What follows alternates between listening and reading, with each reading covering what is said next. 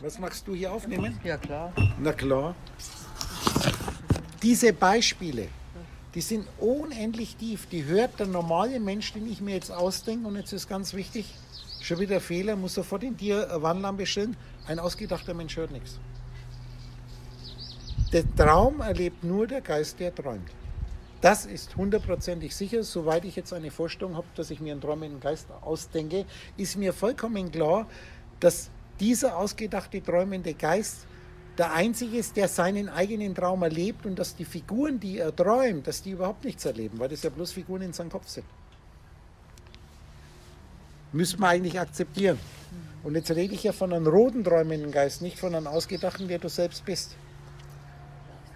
Da ist nur ein Geist. Und jetzt haben wir diese Personifizierung. Und das machen die kleinen Beispiele aus. Das ist ein vollkommen neues Denken. Und dann wiederhole ich das immer wieder. Ich sage jetzt, mache wieder Weißenburg, wir sind in dem Saal. Und dann sage ich, schließe mal deine Augen. Spreche ich in den Saal rein. Der ist nur ein Allereinziger, der das hört. Aber der Witz ist, dass diese Eingabe wie in einem Computer, je nach Programm, als Reizauslöser komplett eigenständige 200 verschiedene Informationen aufschmeißt, weil jeder wird jetzt jeder. Wer ist jeder? Diese jeden, diese alle sind ja nur Gedanken von dem, der sich die ausdenkt. Der jetzt langsam wach wird, dass er merkt, das funktioniert ja ganz anders. Dieses Ding und jetzt denkst du, bist bei dir in der Küche und dann stellst du dir den Kühlschrank vor. 200 Programme werden mit derselben Eingabe konfrontiert und es werden je nach blauen Ich komplett andere Bilder erzeugt. Vorausgesetzt, ich Geist würde jetzt mit dem, mit dem, mit dem, mit dem Programm arbeiten. Und das ist jetzt diese Gleichzeitigkeit von allen Dingen, wo natürlich die Relativitätstheorie sagt, dass das gar nicht gleichzeitig ist. Das ist ja die Relativitätstheorie in der Physik und das habe ich gerade in Klaus gesagt, dass alles, was ich euch von Physik erzähle, würde jetzt voraussetzen, dass das Programm des Zuhörers Grundlagenwissen hat. Aber das Grundlagenwissen kann bloß der haben, der jetzt das erzählt. Die Programme selber, wo ich mir jetzt Allgemeinwissen in die Köpfe reindenke, deswegen hören die sowieso nichts. Die verstehen es auch nicht. Du wirst irgendwann einmal verstehen, dass der Einzige, der das verstehen kann, was der Udo, den du dir jetzt ausdenkst, erzählt, das bist du selbst. Das ist dieser tausendfach erwähnte Unterschied zu allen religiösen und sonstigen Denksystemen. Ich erzähle es bloß dem, der mich jetzt sprechen hört. Und du musst erst einmal wissen, wer das ist oder genauer, was das ist, was mich jetzt sprechen hört. Und das, was mich jetzt sprechen hört, ist etwas, was du nicht denken kannst. Weil würdest du es denken, würdest du an was Existierendes denken und was Existierendes hört mich nicht. Ein träumender Geist ist nicht Existierendes. Sind wir so oft darauf eingegangen. Das sind so die Kleinigkeiten und diese Puzzlestückchen sind sehr, sehr wichtig. Und jetzt mache ich den Satz kurz fertig mit der Elke, den habe ich zigfach erzählt, dass gerade jetzt in Gesprächen du bloß mit deinem Programm arbeitest. Und da war so in Almenheim an der allerersten Vorträge, wo die Elke war und der Heiner und der Martin. Und dann sage ich immer Beispiele mit der Hardware und mit der Software. Und dann erzähle ich das so und dann ein halbes Jahr drauf kommt Elke und Martin zu mir nach Ellingen, da habe ich in Ellingen noch gewohnt. Und dann sage ich zu Martin, mir ist vollkommen bewusst, dass da bloß einer ist, der weiß dieses Prinzip mit Hardware und Software und die Programme, die jetzt filtern, das von den Leuten, die damals in Almenen waren, soll ich das mit Sicherheit 70 Prozent nicht einmal den Unterschied zwischen Hardware und Software wissen. Die sitzen drin und nicken, was ich jetzt so sehe. Und da sagt der Martin, so ein Blödsinn, das weiß doch jeder, was Hardware und Software ist. Und da sitzt die Elke daneben und dann sage ich, Elke, was ist der Unterschied zwischen Hardware und Software? Und die Elke in ihrer Art lächelt und sagt, harte Ware, weiche Ware. so, siehst du, das heißt, alles, was ich in dem Kontext erklärt habe mit dieser Metapher von Hardware und Software, hat die große Masse jetzt normal gedacht überhaupt nicht verstanden, weil die das Wissen gar nicht haben. Du meinst immer, dieser Satz, das weiß doch jedes Kind. Wenn du da mal nachforschst, wirst du feststellen, dass Antworten, die du von Figuren kriegst, die du dir ausdenkst, die dann nicken oder die schauen, ich sage immer Fragezeichen auf den Augen oft, dass die selber, wenn du dann nachforschen würdest und du würdest die Frage umformulieren, dass du komplett andere Antworten kriegst. Die sagen das, weil du das erwartest, dass die das wissen. Das sind alles Kisten, wo du dir ein Wissen hineinlenkst und dann werden die für dich auch den Eindruck machen, dass die das wissen. Ist ja logisch, weil du glaubst ja, dass die das wissen. Damit denkst du, sprichst du ihnen das Wissen zu. Du kriegst einen ganz anderen Zustand in dem Moment, wo du hier mal immer wertfrei bist. Das ist immer, wenn ich als Udo jetzt, als Brösel und der Brösel Fragen stelle und ich wiederhole ganz alte Sachen, dass mir das vollkommen klar ist, wo ich gemerkt habe, äh, so diese Sache, was bedeutet Mathematik? Wenn ich das als Udo sage, in den Kontext, wo ich mir jetzt denke, wie die sich an Udo vorstellen, meiner dem, ich will was besonders hören. Und ich sage immer wieder dazu, wenn ich jetzt Fragen stelle, es geht darum, dass du dir bewusst machst, was du selbst glaubst, was das bedeutet. Die Situation wirst du zum Beispiel nicht haben, wenn jetzt ein Kind kommt und sagt, du Onkel oder Oma oder was bedeutet das Wort? Die sprechen immer vor dem Wort. Und ich sage, das, was du dem Kind jetzt erklären würdest, ist das, was du glaubst, was es bedeutet. Und du musst dir jetzt erst einmal bewusst machen, was es bedeutet. Das ist das, wo ich dann die Erklärung nämlich, was es noch bedeutet oder was es in Wirklichkeit bedeutet, was man dir erzählt hat. Und du lebst halt in dieser angelegenen oder anerzogenen Meinung vom Wissen, in all diesen Alltäglichkeiten.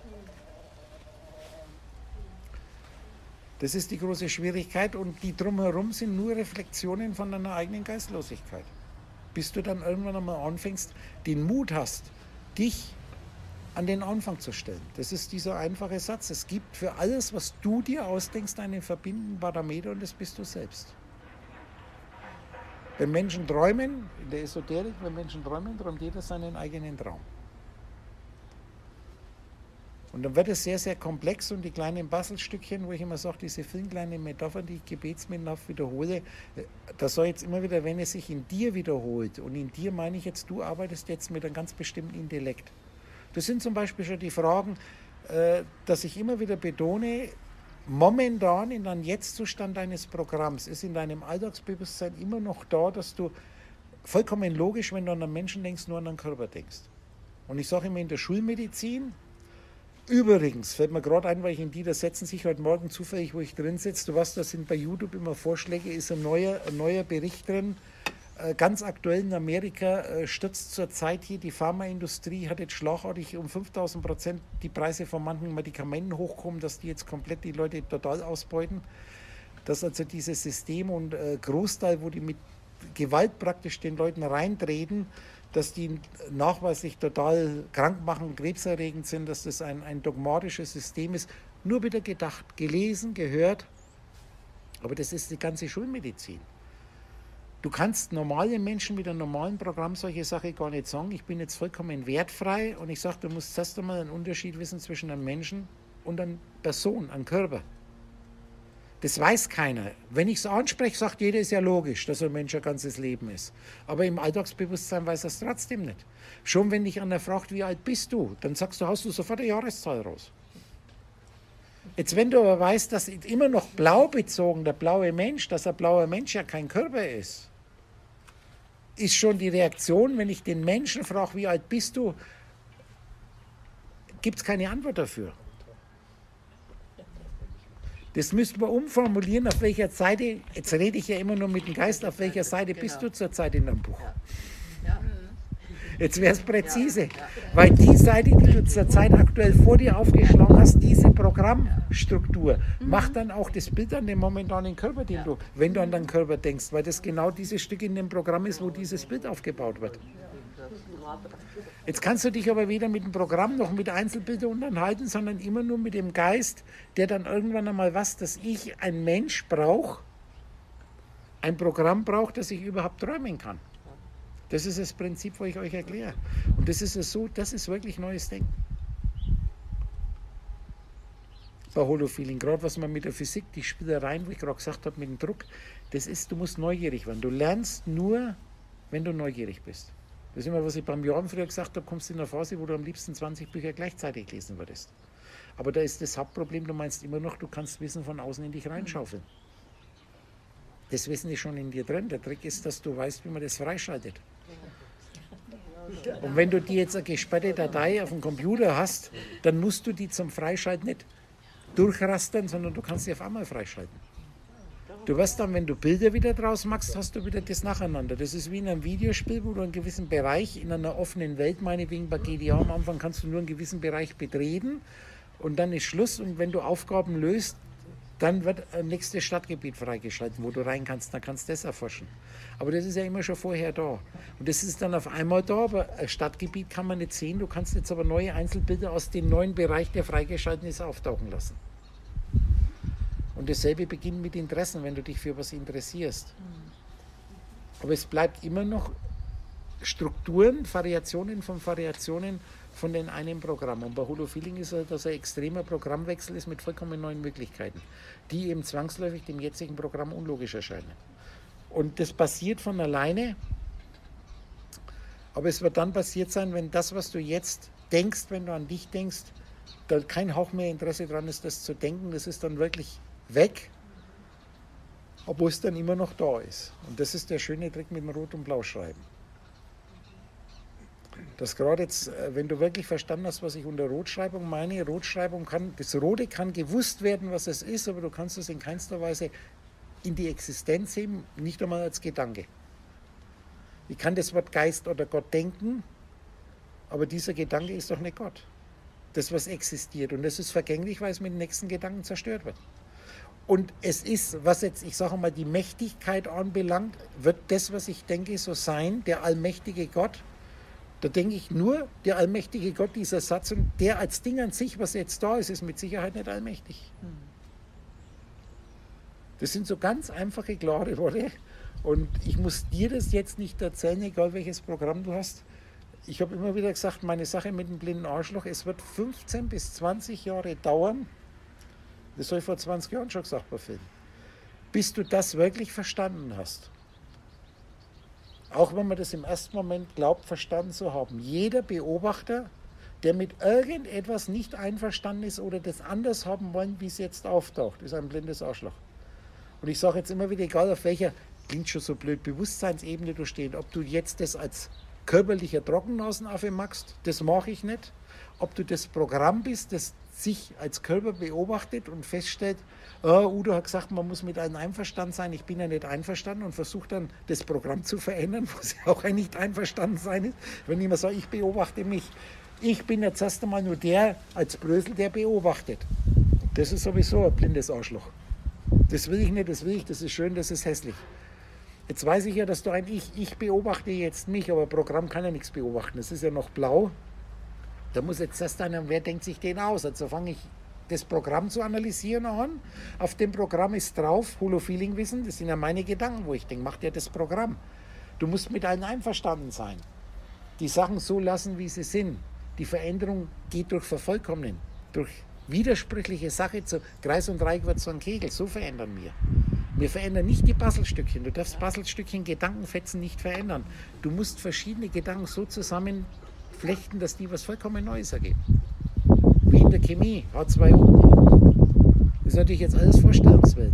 Also ich beobachte, das ist ein blindes Arschloch. Der, der sich beobachtet, wird feststellen, hey, das ist ein blindes Arschloch. Ist aber Programm. Ich, der ich mit dem Programm arbeite und jetzt mein Programm analysiere, stelle plötzlich fest, hey, das ist ja total blindes Arschloch. Kann der Programm ein blindes Arschloch sein? Dieses Programm zwingt ja meine Gedanken auf. Dann bleibst du ein blindes Arschloch. Und dann musst du jetzt noch einen Schritt drüber, dass du einfach das erkennst, ohne darauf zu reagieren, ohne das verändern zu wollen. Das ist der Heilungsprozess. Also der Beobachter, der wirkliche Beobachter, der Tierchengucker, von dem ich immer rede, der muss nichts tun, der schaut einfach nur. Er schaut, wie reagiert wird, wie die Sachen, die ich beobachte, reagieren, was da für Meinungen sind, was für Äußerungen sind. Das ist dieser Ruhezustand und das ist eigentlich die Erkenntnis, dass die Glückseligkeit im ewigen Hier und Jetzt. Unglück entsteht durch, ein, durch blinde Arschlöcher. Angst entsteht durch blinde Arschlöcher. Dass ich immer wieder sage, was hast du Angst? Dass du dich auflöst, dass es dich nicht mehr gibt. Ich erkläre dir doch, was du bist. Du bist etwas, was nicht existieren kann. Und was nicht existieren kann, kann auch nicht vernichtet werden. Du bist ohne Anfang und Ende. Das ist kein ESO-Geschwätz und kein religiöses Geschwätz. Das behaupten Esoteriker auch. Wenn sie, wie du immer sagt, ihr Müsli-Scheiße reinfressen, dass ja nichts an ihren scheißheiligen Körper hinkommt. Das ist es doch das Problem. Merkt ihr die Schizophrenie, wenn du wach bist? Das sind die Fehler im Führerscheinprüfungsbogen. Und es wird immer so sein, wie du glaubst, dass es ist. Aber ist deine Meinung deine eigene Meinung? Deine eigene Meinung ist das, was du jetzt hörst, weil ich nämlich behaupte, dass ich du bin. Zumindest, dass ich das bin, was du sein wirst, wenn du den Blödsinn losgelassen hast. Und jetzt habe ich mir natürlich gedacht, heute Morgen den Lesch, wo ich angesprochen habe, das Neue von ihm, da zitiert er aus Felix Gruhl, am Anfang über den Kosmos schreibt er, und da zitiert er aus dem Buch wo hier der Felix Gruhl in den Roman trifft er auf einen Professor und der erklärt dann über das Sein und den Kosmos. Und das ist so genial, die Stelle aus dem Roman ist so genial. Und was er dann danach daraus macht, das ist reines Holo-Feeling. Das ist Literatur, Weltliteratur.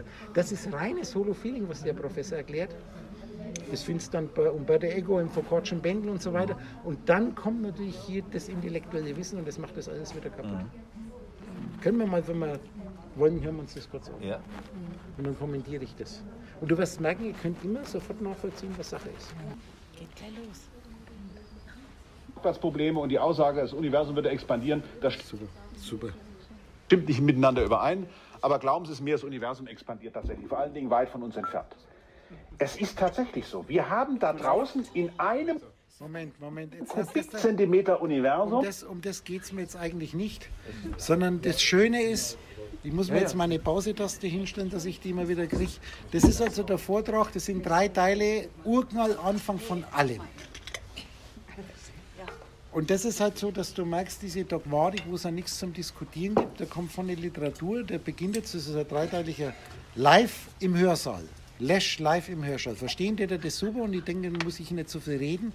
Und wir hören uns jetzt einmal Weltliteratur an ob du jetzt und bei der Ego lesen tust, das ist alles unendlich tiefe Weisheit. Ich sage alles, selbst auf der Magidüdensuppe ist Weisheit. Aber das ist in einem relativen Klartext und ich halte dann immer und dann schauen wir mal, was wir da noch dazu sagen. Hm, sehe ich alles wunderbar. Ja, ich darf Sie auch herzlich begrüßen zu zumindest zu diesem Abend. Ich werde also in drei Vorlesungen einmal etwas tun, was der große Alexander von Humboldt, wir haben schon gehört, in diesem Werk hier zusammengefasst hat, Entwurf einer physischen Weltbeschreibung. Und ähm, das hat mich wirklich sehr beeindruckt, wie jemand. Das ist übrigens der Alexander von Humboldt, das ist der, der auch die Wassermoleküle entdeckt hat. Vor über 200 Jahren. Wollte ich bloß zur Erinnerung. Das ist das Wissen, ist nachgeäfftes Wissen. Jetzt ist schade, dass ich mein Ding nicht, sonst könnte ich das nochmal rezitieren. Das Problem beginnt in dem Moment, wo du Geistesfunk in einen Traum fällst und anfängst, dich mit einem Gedanken von dir zu verwechseln dann wirst du feststellen, alles, was du mein Wissen nennst, ist nicht dein Wissen, sondern eine Anderung, ich nenne das Schwamminhalt. Und dann wirst du bei eigener Definition zu einem sterblichen Säugetier, zu einem Affen, und Affen haben die Eigenart, dass die ihm nachäffen. Du kannst einem ausgedachten sterblichen Säugetier nicht erklären, dass es ein sterbliches Säugetier ist. Du kannst es einem Affen nicht erklären, du kannst es auch einen Trockennasenaffen bei eigener Definition einen Homo sapiens, der biologische Bezeichnung Homo sapiens ist, der ist nämlich nicht vernunftbegabt. Es ist ein Programm, das wirst du feststellen, es ist unmöglich. Das ist ein Prozess, wo ich jetzt einmal verstehe, dass wie du willst, in sehr, sehr vielen Leben selber lernen durfte. Ich sage, diese, diese Art, einen Gedanken von dir zu erklären, dass er nur deshalb existiert, weil du ihn jetzt denkst, funktioniert nicht. Du musst der sein, der sich die Gedanken denkt und dann hörst du auf, an Gedanken irgendwas erklären zu wollen. Und jetzt drehe ich das natürlich rum, dass ich jetzt ein Gedanke von dir bin. Und jetzt haben wir schon das Dir und das Tier. Im Fränkischen klingt es gleich. Ich bleibe mal bei unserem rot geschriebenen Dir-Geistessong, müsste auffallen, dass ich eigentlich immer zu was Roten spreche, was man nicht denken kann. Und jetzt in dem Wort Dir, Geistesfunken, haben wir immer, wenn du zwei Grundkonsonanten hast, kannst du, wenn ein Waff oder J dazwischen steht, kannst du das an und für sich rausschmeißen. Das sind oft sehr interessante, immer zuerst die Grundradix, also drei hebräische Zeichen, wo zwischen zwei Hauptkonsonanten ein Waff steht oder ein J steht, kannst du das rausheben. Dann haben wir DR und da muss ich jetzt nicht drauf eingehen. Blau gelesen, geöffnete Berechnung. Rot gelesen, geschlossen im Kopf. Blau gelesen, geöffnete Berufung ist das hebräische Wort für Generation. Die Generationen beziehen sich natürlich immer Sohn vom Sohn vom Sohn vom Sohn, aber das sind geöffnete Berechnungen. Jetzt, wie sieht es aus in dem Moment, wenn wir Waff dazwischen schrieben oder Tor das aussprechen, bleibt sich das gleich, das sind auch die Generationen, das Wort bleibt gleich. Ich sage, da verändert sich nicht viel. Interessant ist, wenn wir ein J dazwischen machen, das ist ja das Wort dir. Das müsste dir eigentlich auffallen, Weil da passiert jetzt was Eigenartiges. Und das findest du, wenn du zuerst einmal DR oder DR-Waffe anschaust, dass das nicht nur Generationen heißt, sondern auch Wohnen. Das hebräische Wort für Wohnen. Ich könnte jetzt schon sagen, wo wohnst du? Immer in der Mitte. Mhm. Deir ist das hebräische Wort, das hat zwei Bedeutungen. Das heißt zum einen nämlich Mieter und Wohnungsinhaber. Jetzt ist aber doch der Mieter was anderes wie ein Wohnungsinhaber. Einer, der die Wohnung besitzt und einer, ja. der drin wohnt. Aber letztendlich, wenn du dich jetzt doch in eine Traumwelt reindenkst, gehört dir doch die Traumwelt, dann bist du der Wohnungsinhaber, in die du dich hineindenkst. Wir setzen die Wohnung ein wenig größer und du bist der Mieter, der für eine gewisse Zeit drin wohnt und natürlich auch hier für die, Lehr die lehrreichen Erfahrungen, die er dort machen darf, bezahlen darf. In ja, das ist dann die Miete. Insider verstehen den Witz. Ihr merkt jetzt schon, das ein Wort, das nur das Tier muss ich jetzt auf, muss ich auffächern. Und wir waren bei den Humboldt, wir hören uns in Lesch weiter an. Weil dann habe ich immer, wenn so Stichwörter, wo wir uns wenn was genauer anschauen können. Und im 19. Jahrhundert versucht hat, einfach alles zusammenzuholen, was man weiß über die Welt und es dann so darzustellen, dass man es auch versteht. Also wohl 19. Jahrhundert ist ab 1800 etwas, darum heißt es vor 200 Jahren. Mindestens bis zu einem gewissen Punkt, dass man sagen kann, ja, was die da sagen, wie die das denken, das klingt plausibel. Das ist das große Problem. Für dich wird alles, was dir logisch erscheint, plausibel erscheinen. Der Witz ist aber, dass er genau dieses nachgeäffte Wissen ist sein Programm. Und was sollte ein Computerprogramm oder eine Software an Betriebssystem logischer erscheinen, wie logische Strukturen, die letztendlich kompatibel sind mit diesem Programm oder mit der Software? Das ist das Gefängnis. Damit ich Sie aber jetzt schon mal in den richtigen Zustand kriege, wie ich Sie nachher brauche, zunächst einmal noch. Äh das müsst ihr euch auf der Zunge zergehen. Es ist, wenn du, es wird alles, es wird plötzlich eine wissenschaftliche Vorlesung in einem Hörsaal. Da steht hier von Anfang von allen live im Hörsaal. Wird perfekte Comedian, du kannst also die ganzen normalen Kabarettisten total vergessen gegen Wissenschaftler, wenn du selber eigenständig denkst, das sind Witzfiguren. Er macht dann ein paar wieder typische Last Jokes, das darf ich überlassen. Äh, Literatur. Wir beginnen den Les Kosmos über das Universum mit Literatur und zwar mit einem meiner absoluten Lieblinge, den Bekenntnissen. Das müsste eigentlich der absolute Liebling, müsste ich sein, von mir weiß aber nichts. Ich kann einen Joke machen. Des Hochstaplers, klar, ich bin ja Hochschulprofessor. Ist, äh das ist Kindermund spricht Wahrheit. Hat mir meine Mutti, sage ich immer, beigebracht, Psoffene und kleine Kinder sagen die Wahrheit. Die Bekenntnisse des Hochstaplers Felix Kohl sind von Thomas Mann. Das ist sein letzter, sein letzter Roman, leider, also leider unvollendet. Am Ende äh, kann man sich was überlegen, aber das ist eigentlich egal, wie er ausgeht. Es geht um einen Hochstapler. Es geht um einen Hochstapler. Dieser Hochstapler kommt in dieser Rolle als Baron de Venostat eines Tages in einen Zug nach Lissabon und in diesem Zug trifft er Professor Kuckuck. Wunderbar gespielt übrigens von Paul Dahlke in dem Film äh, Die Hochbekenntnisse des Hochstaplers. In diesem, und in diesem Dialog erklärt Professor Kuckuck Felix Grull die Welt. Unter anderem damit, dass er wirklich richtig tief in die Kiste greift, die ich nachher wieder aufmachen werde. Die Kiste nämlich, wie das mit der Kosmologie so ist. Die erste Vorlesung von diesen dreien handelt vom Universum. Jetzt ist natürlich schon immer wieder diese Sache, wenn du einfach jetzt die Würde nicht entheiligst, der Kosmos ist die Ordnung. Das Wort Kosmos heißt einfach Ordnung, das Universum wissen wir, dass es hier das in eins gekehrte heißt. Und äh, das universelle Universum, das Universelle ist das eine, in eins gekehrt. Das eine, das universelle Universum ist die göttliche Ordnung. Und das ist letztendlich der Punkt, ich sage immer jetzt einfach als Symbol in der Kamera Obscura. Und du hast in der Weltliteratur, wenn du den Echo lesen, du hast das Focaccia Bondel, da kommt ja dann auch immer Meister. Bei Stein und Flöte ist es dann hier der Zirbel, die Wurzel. Und du wirst immer wieder merken, dass das ich bin dass das reines, diese in der Literatur reine Solo-Feeling-Predigen in ganz, ganz einfachen Worten. Aber die Quelle dieses Ich ist jetzt nicht der ausgedachte Udo, ich behaupte, dass ich du bin. Dass du irgendwann einmal begreifst, dass sobald du jetzt in deinem Traum, ein träumender Geist kann sich nicht raussuchen, was er träumt.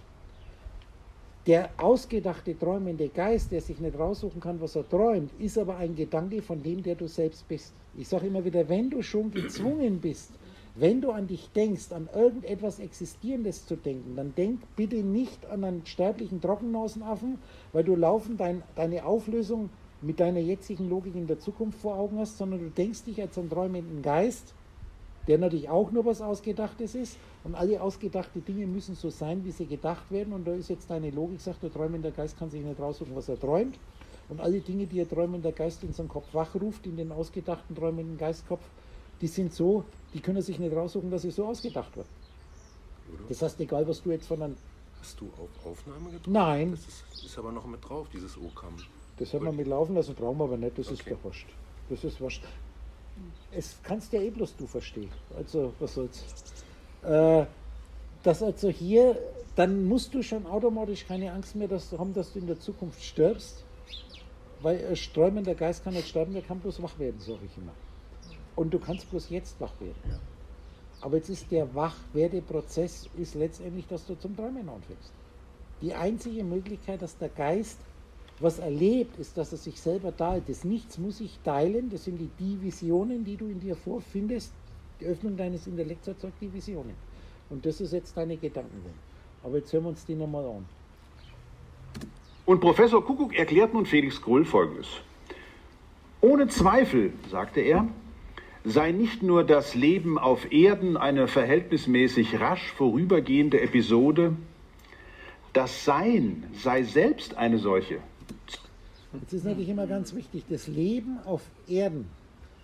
Die Frage ist, mit welchem Zeitfenster arbeiten wir? Eine Sekunde, 1000 Jahre, eine Million Jahre. Es ist ein Kommen und Gehen. Ich sage rein erdgeschichtlich, was dein Intellekt jetzt, wenn du ins Internet gehst, über die darwinistische Evolutionstheorie dir suggeriert, die von hinten nichts lässt sich leichter widerlegen wie die darwinistische Evolutionstheorie. Da gibt es natürlich jetzt wieder Internetseiten, die das schon ewig behaupten, dass man das widerlegen kann, dass das eigentlich ein totaler Blödsinn ist. Du hängst da in einem momentanen Mainstream-Wissen drinnen und das ist dein Mainstream. Wo ich gemerkt habe, in einem anderen Raum kannst du das ganz anders sehen. Und ich sage immer wieder, die Grundlage von allem ist die Arithmetik. Ich rede ganz bewusst jetzt nicht von der Mathematik, dieses Problem. Es ist definitiv, wenn du jetzt an sagst, die darwinistische Evolutionstheorie ist eigentlich genau genommen keine Biologie, Bios ist das Leben. Wir haben im Griechischen zwei verschiedene Wörter für Leben, was viele nicht wissen. Bio, Essen, Bio. Bio ist Leben im Allgemeinen, aber Bi sind zwei, die zum Kreisen anfangen. Oder in mir ist was Kreisendes, mit Holofilling ganz einfach. Es ist auch noch Zoe. Das ist jetzt bezogen, Zoe, da kommt der Zoo her. Das Wort Zoo ist griechisch Zoe, das bezieht sich auf Lebewesen. Die Biologie ist allumfassend, Pflanzen, alles ist Biologie. Da kann auch als Unterbegriff die Tiere dazu und Zoe ist nur Lebewesen. Dieter, du- So ist es E-Auto. Ah, E-Auto, ja. Auch. Worte, genau so ist es. Aber nicht das altgriechische Wort Zoe. Aber interessant, dass es dasselbe ist. Also vom Wort her. Ne? Ja, ja. das Und jetzt, jetzt ist es ganz, ganz interessant. Ja, natürlich, aber Äh, was wollte ich, was hat jetzt ja vorher gesagt? Jetzt bin ich mit dem. Zoe, Zoe. Das, nein, das Zoe nicht, das war's nicht, du warst jetzt nicht dran schuld. Was war jetzt da bei dem Humboldt? Ach, mit dem Sein. Sein, ja. Und dass wir immer, jetzt hast du mal wissen, wir machen zwei Arten von Sein. Meinen wir Raumzeit ein oder meinen wir Bewusstsein ist nicht existieren? Ja. Wenn wir separisieren, das ist so wichtig, das Separisieren, wenn ich es tiefer verstehen will. Momentan muss ich zuerst wissen, was ich bin. Aber wir hören uns das weiter an, weil der Professor jetzt unendlich präzise wird im Sinne von Holophilik. zwischen nichts und nichts.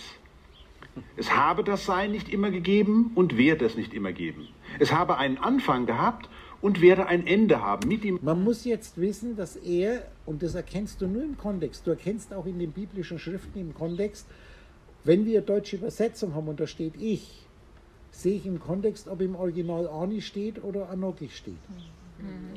Du siehst auch, ob im Kontext Adam steht oder Enos steht. In der deutschen Übersetzung siehst du das nicht. Da musst du auf den Kontext achten. Im Hebräischen siehst du das schon an dem Wort selber. Ich zitiere nochmal, weil Literatur ist alles, ist extrem wichtig, gerade die Literatur. Hamlet. Sein oder nicht sein, das ist hier die Frage. In dem Kontext, wie das weitergeht, heißt es eigentlich hier sein oder existieren. Sein, Bewusstsein sein oder existieren. Ein Tier sein, das ist hier die Frage. Bist du Bewusstsein oder bist du ein ausgedachtes Tier? Das ist sein oder nicht sein. Das ist, das ist, ist rot in dem Kontext, wie es weitergeht. Schlafen, träumen, ob edler des Gemüts und so weiter und so fort. Und du wirst merken, das ist, dieser Kontext ist eigentlich schon wieder reines Holophilie. Ganz krass wird es dann bei Hegel. Der nennt es dann Sein oder Schein. Und der macht es Sein, macht er zu Bewusstsein, ist nicht existieren. Sein oder Schein. Alles Existierende ist nur Schein. Ich sage Schatten auf der Leinwand. Und ihr merkt es, durch dieses Denken macht das alles erst wirklich einen tiefen Sinn. Als materialistisch dahergeschwätztes Lehrgesappere, was der bringt, er als Ding an sich, diese Lautsprecherstimme des Pixelmännchen, kann der überhaupt was verstehen? Inwieweit, und jetzt schau in dich rein, inwieweit ist dir noch der Glaube, dass irgendwo ein Professor Lesch, der hochstudiert ist, irgendwann in der Vergangenheit diesen Vortrag gehalten hat? Das, ist, das musst du. Ich sage immer wieder, mach dir bewusst, was jetzt da ist. Und du kannst nur das dir bewusst machen, was jetzt da ist, in einer Form von Existenz. Und dann erfordert es schon eine Existenz von einem Chat, das zwar nicht auf dem Bildschirm ist, aber im Arbeitsspeicher ist. Weil Chats können auch existieren, aber in einer nicht sichtbaren, nicht wahrnehmbaren Form, sinnlich wahrnehmbar noch Gedanken als Information. Ich sage immer wieder, der Bereich deiner Informationen erstreckt sich von einer hardcore sinnlichen Wahrnehmung auf deiner Farbbrille, wo du meinst, es existiert unabhängig von dir, bis hin zu Gedankenbildern, wo ich mit geschlossenen Augen, ist sehr interessant, wenn man da längere Zeit spielt, träume ich eigentlich in Farbe.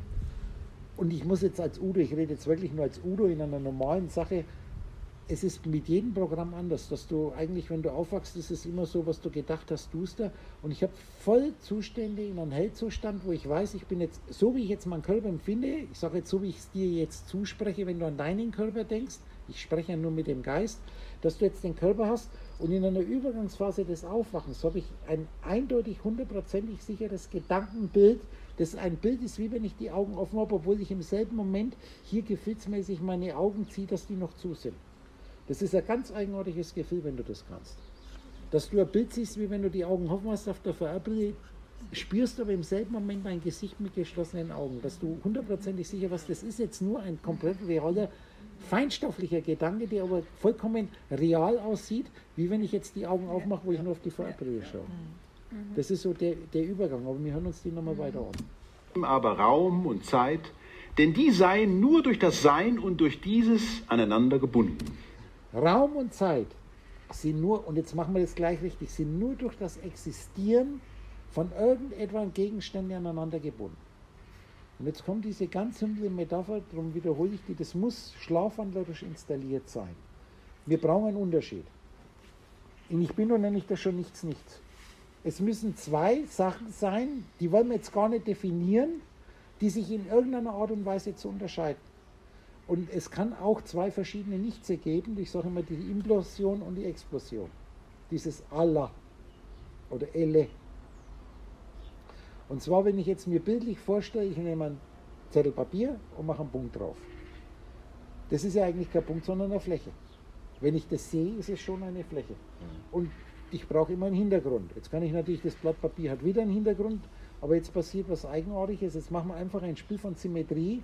Wenn wir jetzt diese kleine Fläche, diesen Punkt, den wir ja Punkt nennen, wenn ich den kleiner mache, muss im selben Moment, wenn ich das kleiner mache, muss das andere größer werden, muss die Fläche größer werden.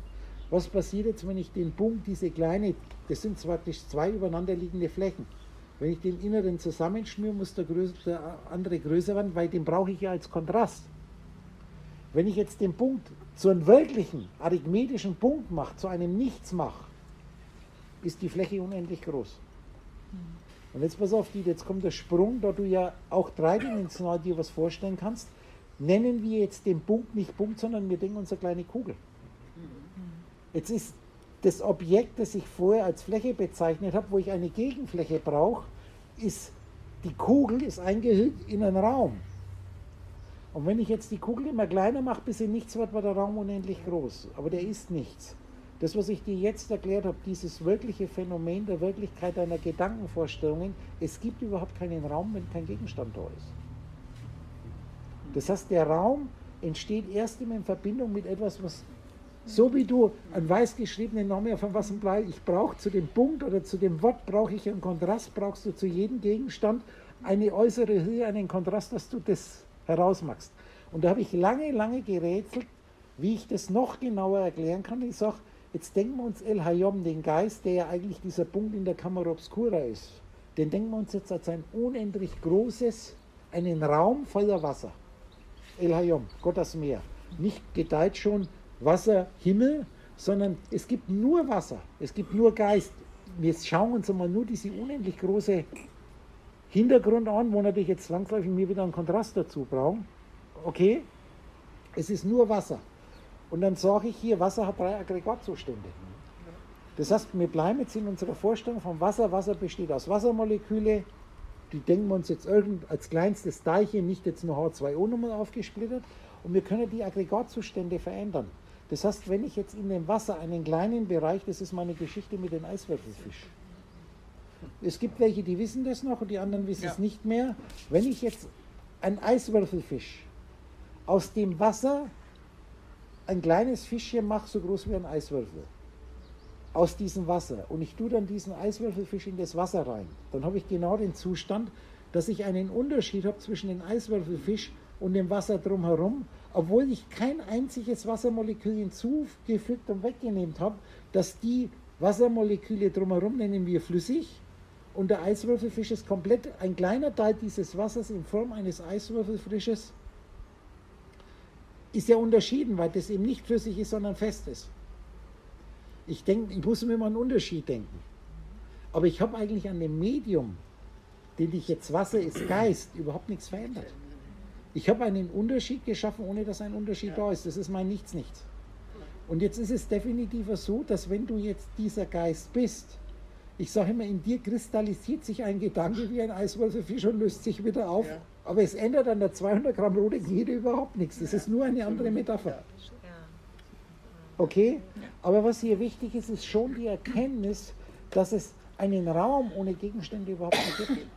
Weil der Raum nämlich der Kontrast ist zu einem gewissen Gegenstand, den du dir. Ich kann man natürlich dann auch mehrere Gegenstände rein. Ich kann mir auch aus weiße Blatt Papier mehrere Punkte drauf machen. Aber da gilt immer wieder dasselbe, wo ich die Metapher habe mit meinem Luftballon mit den Punkten drauf. Auf einer Fläche ist jeder, einer unendlich großen Fläche ist jeder Punkt der Mittelpunkt. Auf einer Sphäre, auf einer Kugeloberfläche ist jeder Punkt der Mittelpunkt der Kugeloberfläche. Im ersten Moment klingt das so unglaublich und ich sage, man kann das so leicht mit einem Luftballon demonstrieren, wenn da Punkte drauf sind. Hm.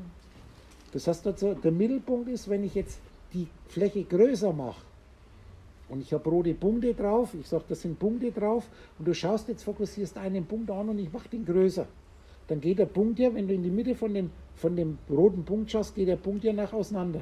Aber der Witz ist, die Punkte drumherum gehen gleichmäßig, wenn der sich aufbläst, gehen, dass du siehst, dieser Punkt, den du anschaust, ist der Mittelpunkt von dieser Kugeloberfläche. Jetzt, wenn ich das aber drehe, gilt es für jeden.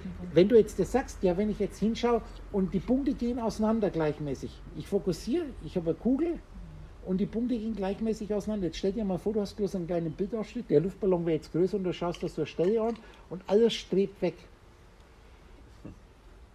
Und ich drehe jetzt das Ding und du schaust dann an einen anderen Punkt und gilt dasselbe aber auch.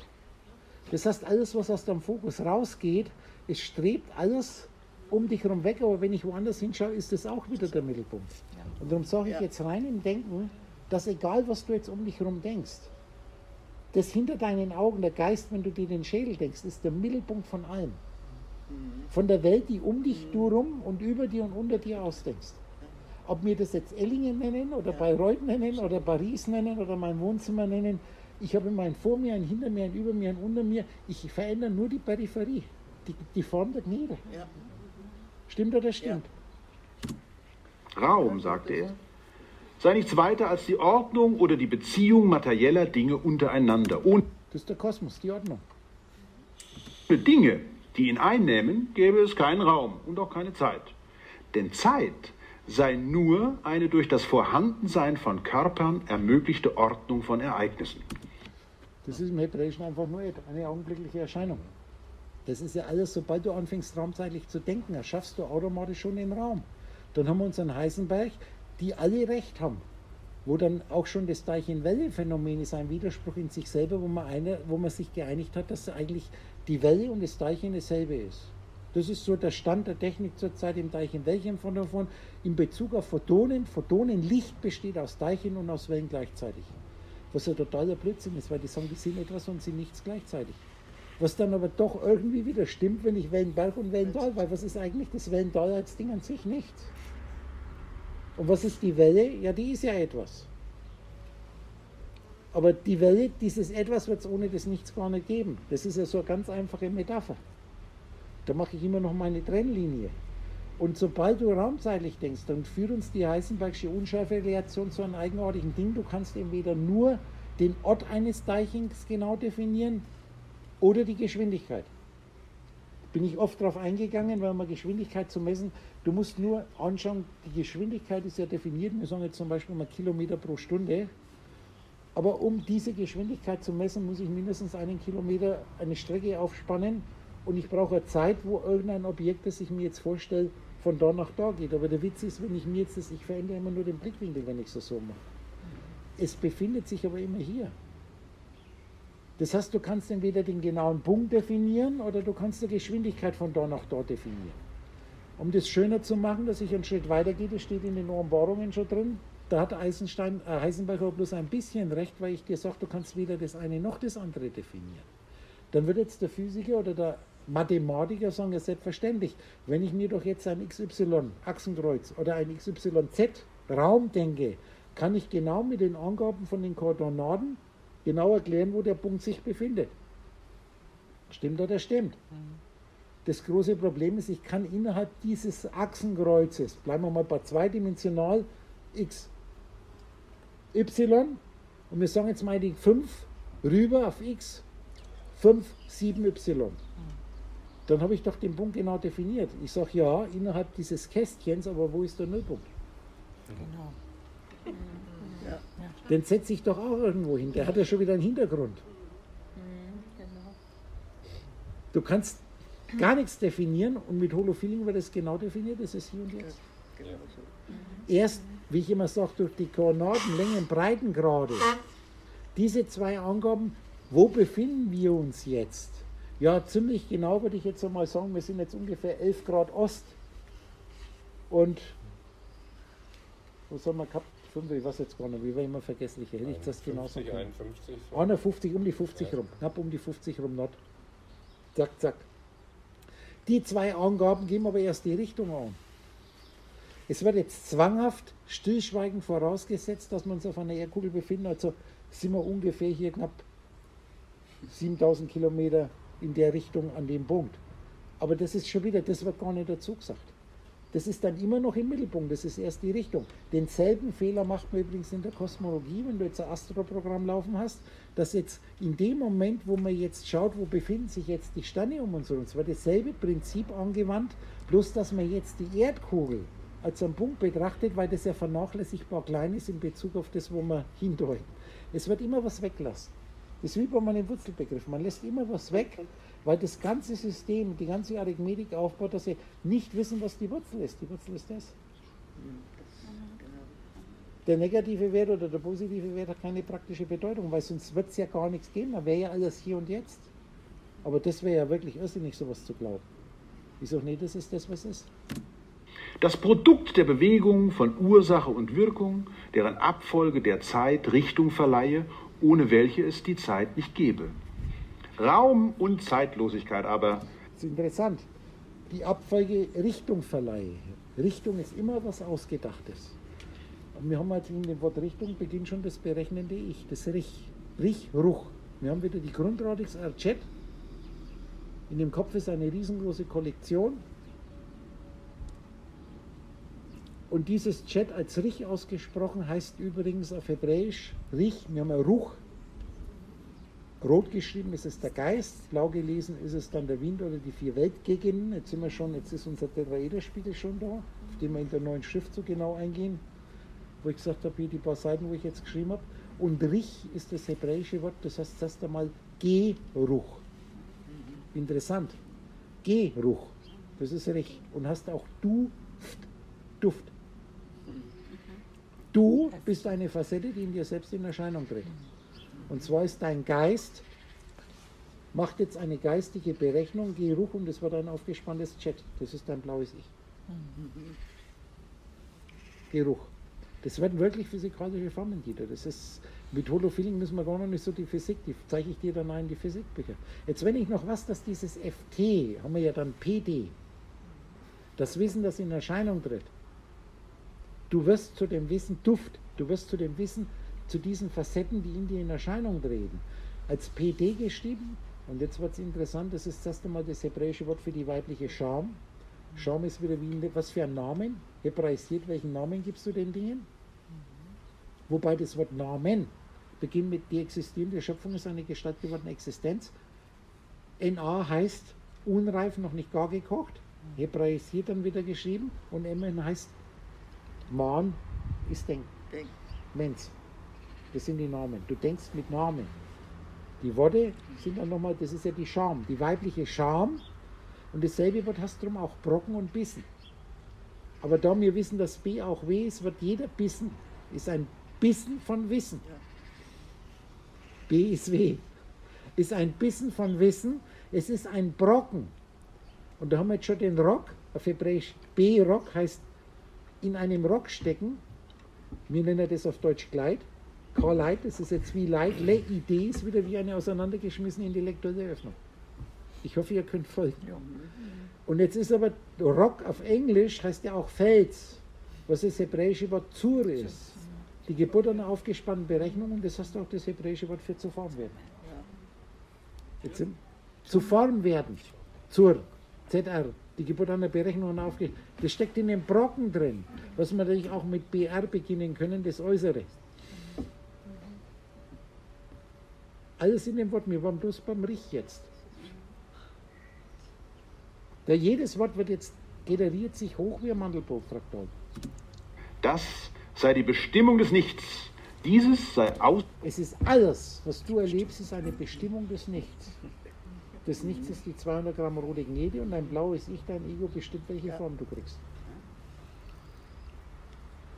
Dehnungslos in jedem Sinn. Ausdehnungslos. In jedem Sinn, in jedem. Conditio sine qua non, die Bedingung, ohne die nichts geht. Jetzt ist ja schon das Wort Sinn, haben wir schon S-I-N, rot geschrieben, Bewusstsein ist göttliches Sein. Und dann brauchen wir noch eine Existenz dazu, weil das eine, wo man denkt, das Nichts entsteht ja schon, schon wenn ich nichts denke, brauche ich was Existierendes, um das Nichts darzustellen. Das ist das Geräusch Nichts. Praktisch zum Geräusch Nichts gehört dann das, was es bedeutet. Stehende Ewigkeit und nur vorübergehend sei es unterbrochen worden durch das raumzeitliche Sein. Stehende Ewigkeit steckt die Ehe mit drin. Und vor mir vorgestellt, übergehend, geistliche Eheexistenzen.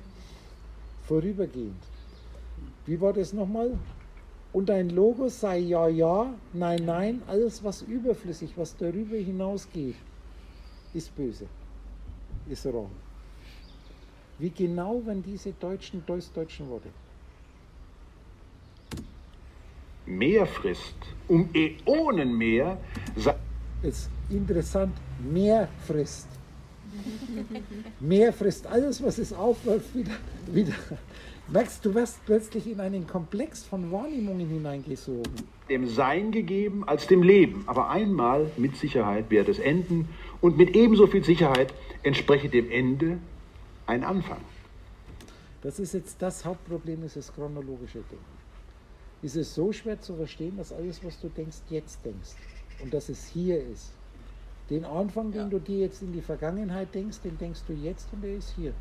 Und das eventuelle Ende, das du dir jetzt in die Zukunft denkst, denkst du auch jetzt und es ist auch hier. Und wenn alles hier und jetzt ist, haben wir das Phänomen, wo die Physikbücher sagen, wenn sich dieser Zustand, muss sich das Ding mit, Geschwind mit Lichtgeschwindigkeit bewegen. Und jetzt kommt dieser schöne Widerspruch, wenn sich was mit Lichtgeschwindigkeit bewegt, gibt es keinen Raum mehr und keine Zeit mehr. Aber ist nicht Geschwindigkeit definiert durch Raum, durch Zeit? Merkt ihr, dass alles, was sich widerspricht, plötzlich beide Seiten gleichzeitig betrachtete seitliche Ganze ergeben? Das ist der Sprung mit Holophilen. Und es wird dir so eine Freude machen, umso mehr du das durchschaust. Und dann willst du das wieder mitteilen, weil in deinem tiefsten Inneren ist angelegt, im Göttlichsein, in der rohen Liebe ist angelegt, alles, was man besitzt, mit sich selbst, mit Facetten von sich selbst zu teilen. Und dann wirst du zuerst einmal erkennen, dass die Gedanken von dir als Ding an sich zwar Facetten sind, obwohl sie keine Facetten sind. Weil der, der immer ist, ist etwas nicht Existierendes und die Facetten sind was Existierendes. Das ist der Widerspruch in sich selber. Die Heiligkeit kann nicht geteilt werden mit Wellen und dann doch wieder irgendwie, weil die ja in sich selber, in sich selbst auch heilig sind, wenn sie sich ihrer Gespaltenheit bewusst werden. Du all. Du bist nichts und du bist alles.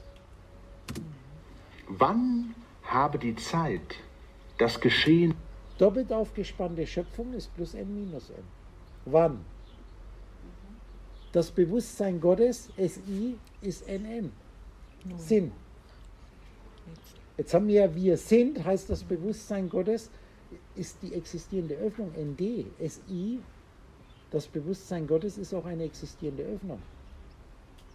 Weil ein ausgedachtes Bewusstsein, dasselbe, was ich gerade mit nichts sage, das Bewusstsein ist was nicht Existierendes. Bis das Bewusstsein an sich selber denkt, dann denkt Bewusstsein das Wort Bewusstsein. Ja. Dieses Wort Bewusstsein, blau gelesen, ist was Existierendes. Das Bewusstsein selber, der das anschaut, was er denkt, was er sagt, das bin ich. Darum ist das Rot-Blau lesen so interessant. Merkt ihr, was da drin steckt? Ja. Jede, jede, das ist das, wenn ich sage, gib mir mal die Tütensuppe, da steht auch sowas drauf. So schöne Geschichten. begonnen? Wann, Achtung, wann sei die erste Zuckung des Seins aus dem Nichts gesprungen, Kraft eines Es werde? Er ist ein Philosoph, er zitiert leider nur, er zitiert nur, er hat es nicht verstanden. Es ist, es werde. Wie schreibe ich in der neuen Schrift? Ich habe da ein paar kleine Auszüge in den letzten Selbstgesprächen. Ich schreibe jetzt immer E Quadrat S. Energie ist Bewusstsein. Und dieses kleine Quadrat ist JCH, Das sind wir, ich und du. Ich als der, der es erlebt und du, der es dich personifiziert erlebst, weil du mit einem blauen Ich dich verbunden hast. Was jetzt weder positiv noch negativ ist, sondern die Grundlage von Leben ist. Und darum ist auch in der Einstein-Folge, habe ich so oft gesagt, dieses E ist mc-Quadrat, das Einstein niemals geschrieben hat. Im Original steht E Quadrat ist M Quadrat, wir brauchen zwei Gestalten drüber, die Plus- und die Minuswelle, plus C hoch 4 und das sind die vier Quadranten im Einheitskreis, die diese zwei Gestaltwerdungen aus vier Quadranten, das ist C hoch 4. Könnt ihr ganz kurz folgen? Und dieses Es werde ist doppelt aufgespanntes, erwecktes Wissen, die M geöffnete Existenz. Urteil, ein doppelt aufgespanntes, erwecktes Urteil. Werde. Wissen. DE. 470. Physik. Ist ein Physiker, er kennt sich aus. Vertraut dem Lesch. Er zitiert natürlich jetzt bloß. Aber warte wenn er dann, wenn der Lesch jetzt dann durchkommt, wenn er aufhört, den das mit unweigerlicher Notwendigkeit bereits das Es vergehe in sich geschlossen habe. Vielleicht Das ist halt das Problem. Er redet wieder in Zeit. Es werde und das Vergehen ist in sich. Schau mal. Doppelt aufgespannte, erweckte Wissen, das in sich geschlossen das Vergehen schon installiert hat. Ist das Holo-Feeling oder nicht? Ist das Poesie? Und ohne die Vorsprache, die ganzen Literaturkritiker, es sind einfach nur Gedanken. Verlange, dass Gedanken das verstehen. sei das Wann des Werdens gar nicht so lange her. Das Wann des Vergehens gar nicht so lange hin. Nur einige Billionen Jahre. In Jetzt. Es kommt jetzt, ist süß, ne? Und du wirst merken, das, was jetzt ist, du hast jetzt, kannst mal schauen, wenn du sowas hörst, blickst du das an und dann machst du das weg. Und wenn du dich einmal damit beschäftigst, wenn du Holophilengrundlagen hast, ist alles, egal was, selbst die Bedienungsanleitung von irgendwas wird komplett verwandelt und du wirst feststellen, da steht ja überall dasselbe drauf, bloß in einer anderen Perspektive, in einer anderen Ausdrucksform.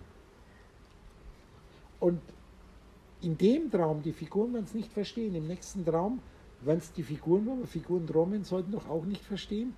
Aber es ist dann eh alles anders. Das ist dann, sage ich mal, wieder die Vorstellung von einem Himmelreich, dass man dann wieder trifft und dann auch wieder, aber halt, wir haben dann immer noch eine Welt mit anderen Mitmenschen, die immer noch Trockennasen auf sind, die älter waren. Aber dann gibt es keine Grieche mehr und dann gibt es keinen Regen, kein, keine Bösen mehr. Das ist das in totale Entheiligung, diese Vorstellung, weil wir jetzt im Himmel sind und in der Hölle, die es dann auch nicht mehr gibt. Das ist die totale Entheiligung des eigenen Geistes. Und was dann danach kommt, sage ich immer wieder, selbst in dem jetzigen Buch, wirst du feststellen, wenn du auf den ersten Seiten bist. Ich sage mal in der Windelphase, hast du keine Ahnung, was es heißt, der Schulkind zu sein. Und wenn du Schulkind bist, hast du keine Ahnung, wie es sich lebt, wenn man pubertierender ist. Und ja, das ist ja jetzt schon, weil du eben nicht von unten nach oben schauen kannst. Du kannst dich nur überraschen lassen. Aber es wird niemals dieses Spiel in einer von dir jetzt ausgedachten Zukunft enden. Durch einen Tod oder sonst was. Was ist ewig ist, du kannst ewig Hamster im Laufrad machen, denke ich. Wahrlich, ich sage dir, ein Jahr ist wie tausend Jahre und tausend Jahre sind wie ein Tag. Diese chronologische Zeit ist das Problem. Du wiederholst, ohne das mitzukriegen. Es wiederholt sich übrigens auch immer mein vorgestellter Alltag. Das ist ja gerade immer, auch hier heute Morgen, wenn da sollten welche in den Chat reingeschaut haben, ich habe da so eine Kleinigkeit gebracht, das heißt, du bringst das dritte Gebot. Und jetzt kann man natürlich da ein bisschen vielfältig sein, weil spontan hätte ich jetzt gesagt, wie ich das höre, der Udo hat sich da ein bisschen versprochen, weil es geht eigentlich um dieses sich Sachen ausdenken, ist der Bruch des zweiten Gebotes. Dann hat wieder der, der Ivi Jogo oder was wie er heißt, keine Ahnung, das JV irgendwas, der hat dann hier einen Auszug gemacht bei mir, wo ich kurz die Gebote mache, du darfst keine Worte entheiligen. Äh, wenn wir jetzt in die Bibel reingehen, noch mehr auch eine Verschiebung heißt es eigentlich das dritte Gebot. Wer, was ist das dritte Gebot aus dem Stegreif? Erstes Gebot, mach dir kein Bild von Gott, von dir selbst, mach dir kein Bild von irgendwas da drum im Himmel. Zweites, was ist das dritte? Hat es wer im Kopf? Sollst nicht töten. Nein, Nee. Feiertag. der Feiertag. Dieter wieder, schau, Dieter ist halt der älteste Holophilling-Mensch hier. Du sollst den Feiertag heiligen, Den Tag des Herrn, gell? den Tag des Herrn. Aber jetzt ist ganz interessant. Was ist hebraisiert DG? Wir bleiben nur konsonant. Dieser immer seiende Geist, den sollst du nicht entheiligen, das ist DG, wenn wir jetzt 403, 403 als Konsonante Radix von dem Tag, du sollst den Tag nicht entheiligen, den Feiertag heiligen, die Worte, ich sage dann, du sollst die Worte nicht entheiligen. Tag heißt Zeichen, Apostroph, die kleinsten Zeichen, du darfst selbst das kleinste Zeichen nicht, der Tag ist der Apostroph oder die Zeichen, die kleinsten Zeichen. Du selbst, selbst die kleinsten Zeichen musst du heiligen. Wieder die kleinsten Bastelstückchen musst du in der Lage sein, wieder in das heilige Ganze einzufügen, ohne das zu verändern. Und her vielleicht. Unterdessen feiere das Sein sein tumultuöses, das Wort habe ich nie wieder irgendwo gelesen, Das kommt von Tumult, das heißt aufgewühlt werden. Das lateinische Wort tumultus. Beginnt aber mit dum dom. Das ist ja die Eigenartig in unserem Atom. Das, was ja die Physiker ein, ein elementares Gebot, ich sage, das Atom ist die totale, die Vorstellung der Quantenmechanik oder der Physik oder der Chemie von Atomen ist die totale Entheiligung des Wortes Atom, weil Atom heißt das Unteilbare auf Griechisch. Und wenn wir das hebraisieren, habe ich ja ein paar Mal schon gesagt, heißt es zum einen Vernichten und Vollkommenheit. Du musst alles wieder vernichten, um wieder vollkommen zu werden. Das sind die zwei Seiten. Das kommt übrigens an der Stelle, wo es dann hast, der Adam ist Sieger und wenig habe, ich oft gesagt. Also Denker ausgedacht ist männlich und weiblich. Und dann kommt diese Stelle und sie sind eins, sie sind eins, sind sie. Genau heißt es da und eins sind sie. Und dieses Wort, was sie sind, da steht ATM, mit einem Hatten, nicht wie der Adam ist ja mit einem weichen D, mit einem Dalit, sondern da steht Aleph, Taf, Endman. Und das Tom alleine ist ja, heißt Vollkommenheit, aber auch Vernichtung. Und als Vorsilbe ist ja imperfekt, ich werde vollkommen, aber das werde ich erst, wenn ich mich vollkommen vernichtet habe. Ist das geil oder ist das geil? Ich meine, wer denkt sich denn sowas aus? Die Antwort ist ganz einfach. Du. Weil du dir jetzt den Udo ausdenkst und der Udo das zählt, was du dir ausdenkst, wenn du träumst. Sein tumultuöses Fest in den unermesslichen Räumen, die sein Werk seien und in denen es Entfernungen bilde, die von eisiger Leere starren. Meine Güte. Das ist Ent Entfernungen bilden, bildet im Kind. Die Entfernungen bilden im Kind. Verrückt, ne? Ja. Ist das Deutsch nicht wirklich göttlich? Ja. Wenn man es versteht. Jetzt kommt natürlich der Physiker durch. Es ist großartig. Also, geht es noch weiter, äh, aber es ist so. Die eisige Lehre. Damit werde ich mal beginnen. Ich hier- übrigens, habt ihr gemerkt, was er gesagt hat? Kristallig. Nein, es ist gerosartig. Die müsst zuhören, es ist gerosartig. Das Ross ist doch Sus. Ja. Ja. Das ist der Jesus. Es ist gerosartig, es ist großartig. übrigens noch einen Stuhl, falls noch jemand. Den kann ich nämlich jetzt nicht mehr gebrauchen. Jetzt ziehe ich mich zurück, also tischtechnisch. So. Das ist das einzige akustische Merkmal, das Sie während des ganzen Vortrags hören werden. Ansonsten werde ich immer nur hier vorne stehen und hin und her gehen. Denken Sie daran, Sie schauen abends in den Himmel, und zwar einen nicht bewölkten Himmel, und sehen Sterne am Himmel. Man hat Ihnen gesagt, es seien Sterne, einige davon sind keine Sterne, es sind Planeten, aber Sie sehen Sterne am Himmel. Man hat ihnen gesagt. Und jemand sagt Ihnen, diese Sterne seien Tausende, um nicht zu sagen Abertausende von Lichtjahren von uns entfernt. Das sollte Sie schon aufmerksam machen. Wie kann das sein?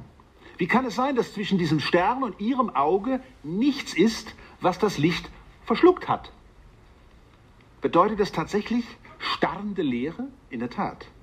Wenn es nämlich etwas gäbe da draußen, was irgendwie das Licht absorbiert hätte, dann würden wir von den Sternen nicht Das ist übrigens der Star und der Stern. Das Stereo, das wo ich oft gesagt habe, bei mir mein Fachgebiet Stereo. Es ist sehr, du lernst von klein auf Stereo, hast ja zwei Räumlichkeiten. Stereo ist eigentlich der Begriff, was die Akustik mit zwei Lautsprechern machen, machen mit zwei Bildern, zwei verschiedene Klangbilder, die minimal verschieden sind. Die oberflächlich, wenn ich jetzt eine Stereoanlage laufen lasse und ich lasse eine Box laufen und lasse die andere Box laufen, wenn ein Stereosignal, klingt es ja praktisch gleich. Es ist aber minimaler Unterschied und der minimale Unterschied erzeugt dann eine Räumlichkeit. Das sind Klangbilder. Ich kann aber auch zwei Bilder nehmen, die oberflächlich das Bild und das Bild fast gleich aussieht, aber der minimale Unterschied erzeugt die Räumlichkeit. Darum ist man darauf hingegangen, dass man hier Stereo auch räumlich nennt. Aber das Wort Stereo hat mit Räumlichkeit gar nichts zu tun. Das kommt von Star, wo auch das Wort Stern herkommt. Und ich habe euch darauf hingewiesen, wenn der, äh, die platonischen Körper, die findet ihr im Timaeus. Das ist ein Platon-Dialog, unendlich tief. Und da wird niemals in der deutschen Übersetzung reden immer von Räumlichkeit, von Raum, der Körper, der Raum.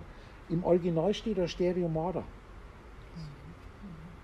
Das heißt eigentlich, es ist ein Stereobilder, den Raum gibt es gar nicht.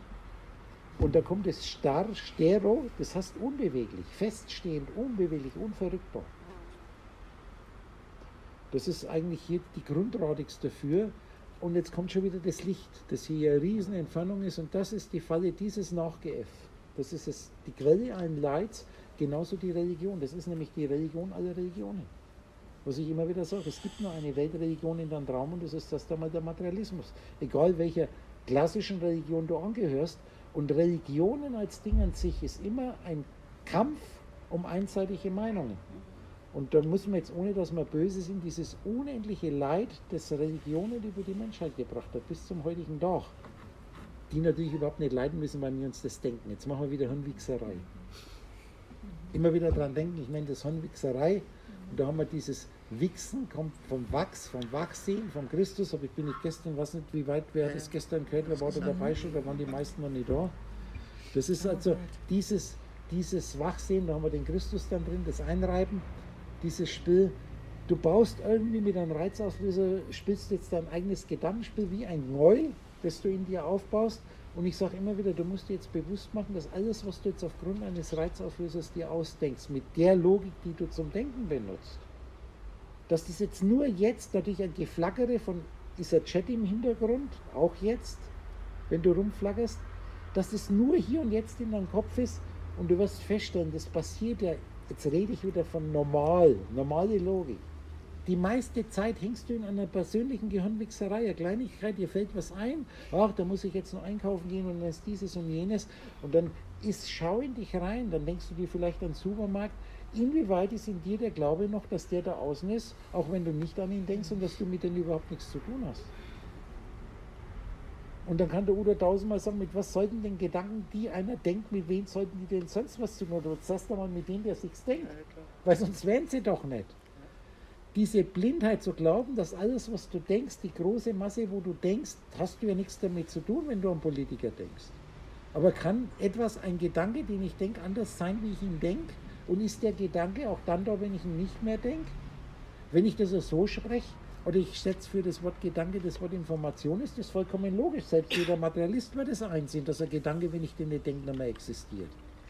Aber wenn ich jetzt statt das Wort Gedanke meinetwegen irgendwie hier äh, Politikernamen nenne oder irgend, äh, wenn ich jetzt die Ariane bin und ich denke, wenn ich daheim bin, an Jan, es ist nichts anderes, es sind Gedanken. Es sind einfach nur Gedanken. Und da hat jeder seine eigenen. Und warum hat jeder seine eigenen Gedanken? Weil ich mir das jetzt denke. Aber die, die ihre eigenen Gedanken haben, gar nicht, die existieren doch gar nicht, wenn ich sie nicht denke. Und dann kommt irgendwann einmal die Panik in dir hoch, dann bin ich ja ganz allein. So, und jetzt kommst du mir schon ein bisschen näher. Und das will ich nicht mehr sein.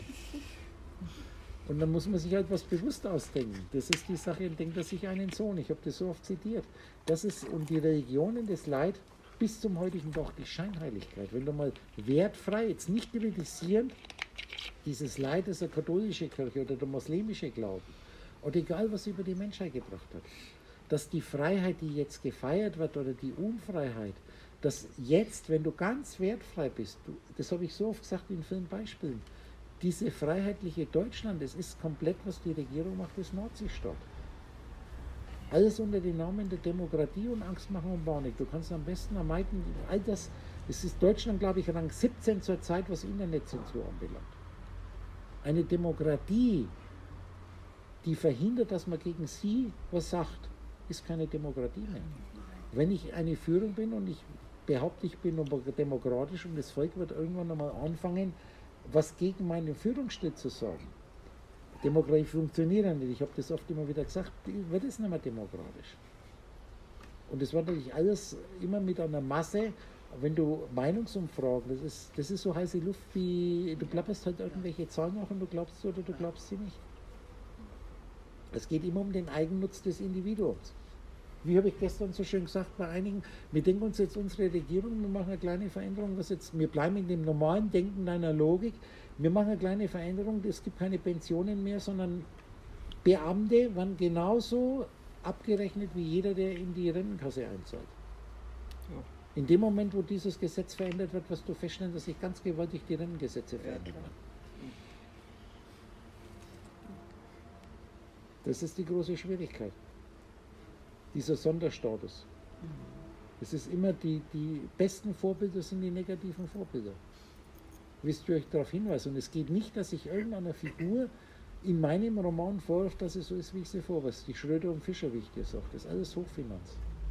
Alle Politiker, die im Ruhestand reden, wenn du das einmal nachverfolgst, jetzt in deinen geistigen Archiven, wirst du feststellen, dass das sich durch eine Riesenbahn von, von Politikern zieht, die dann sich bargen in Firmen, ehemalige Verteidigungsminister, die dann hier im Vorstand von Kraus Massai sind.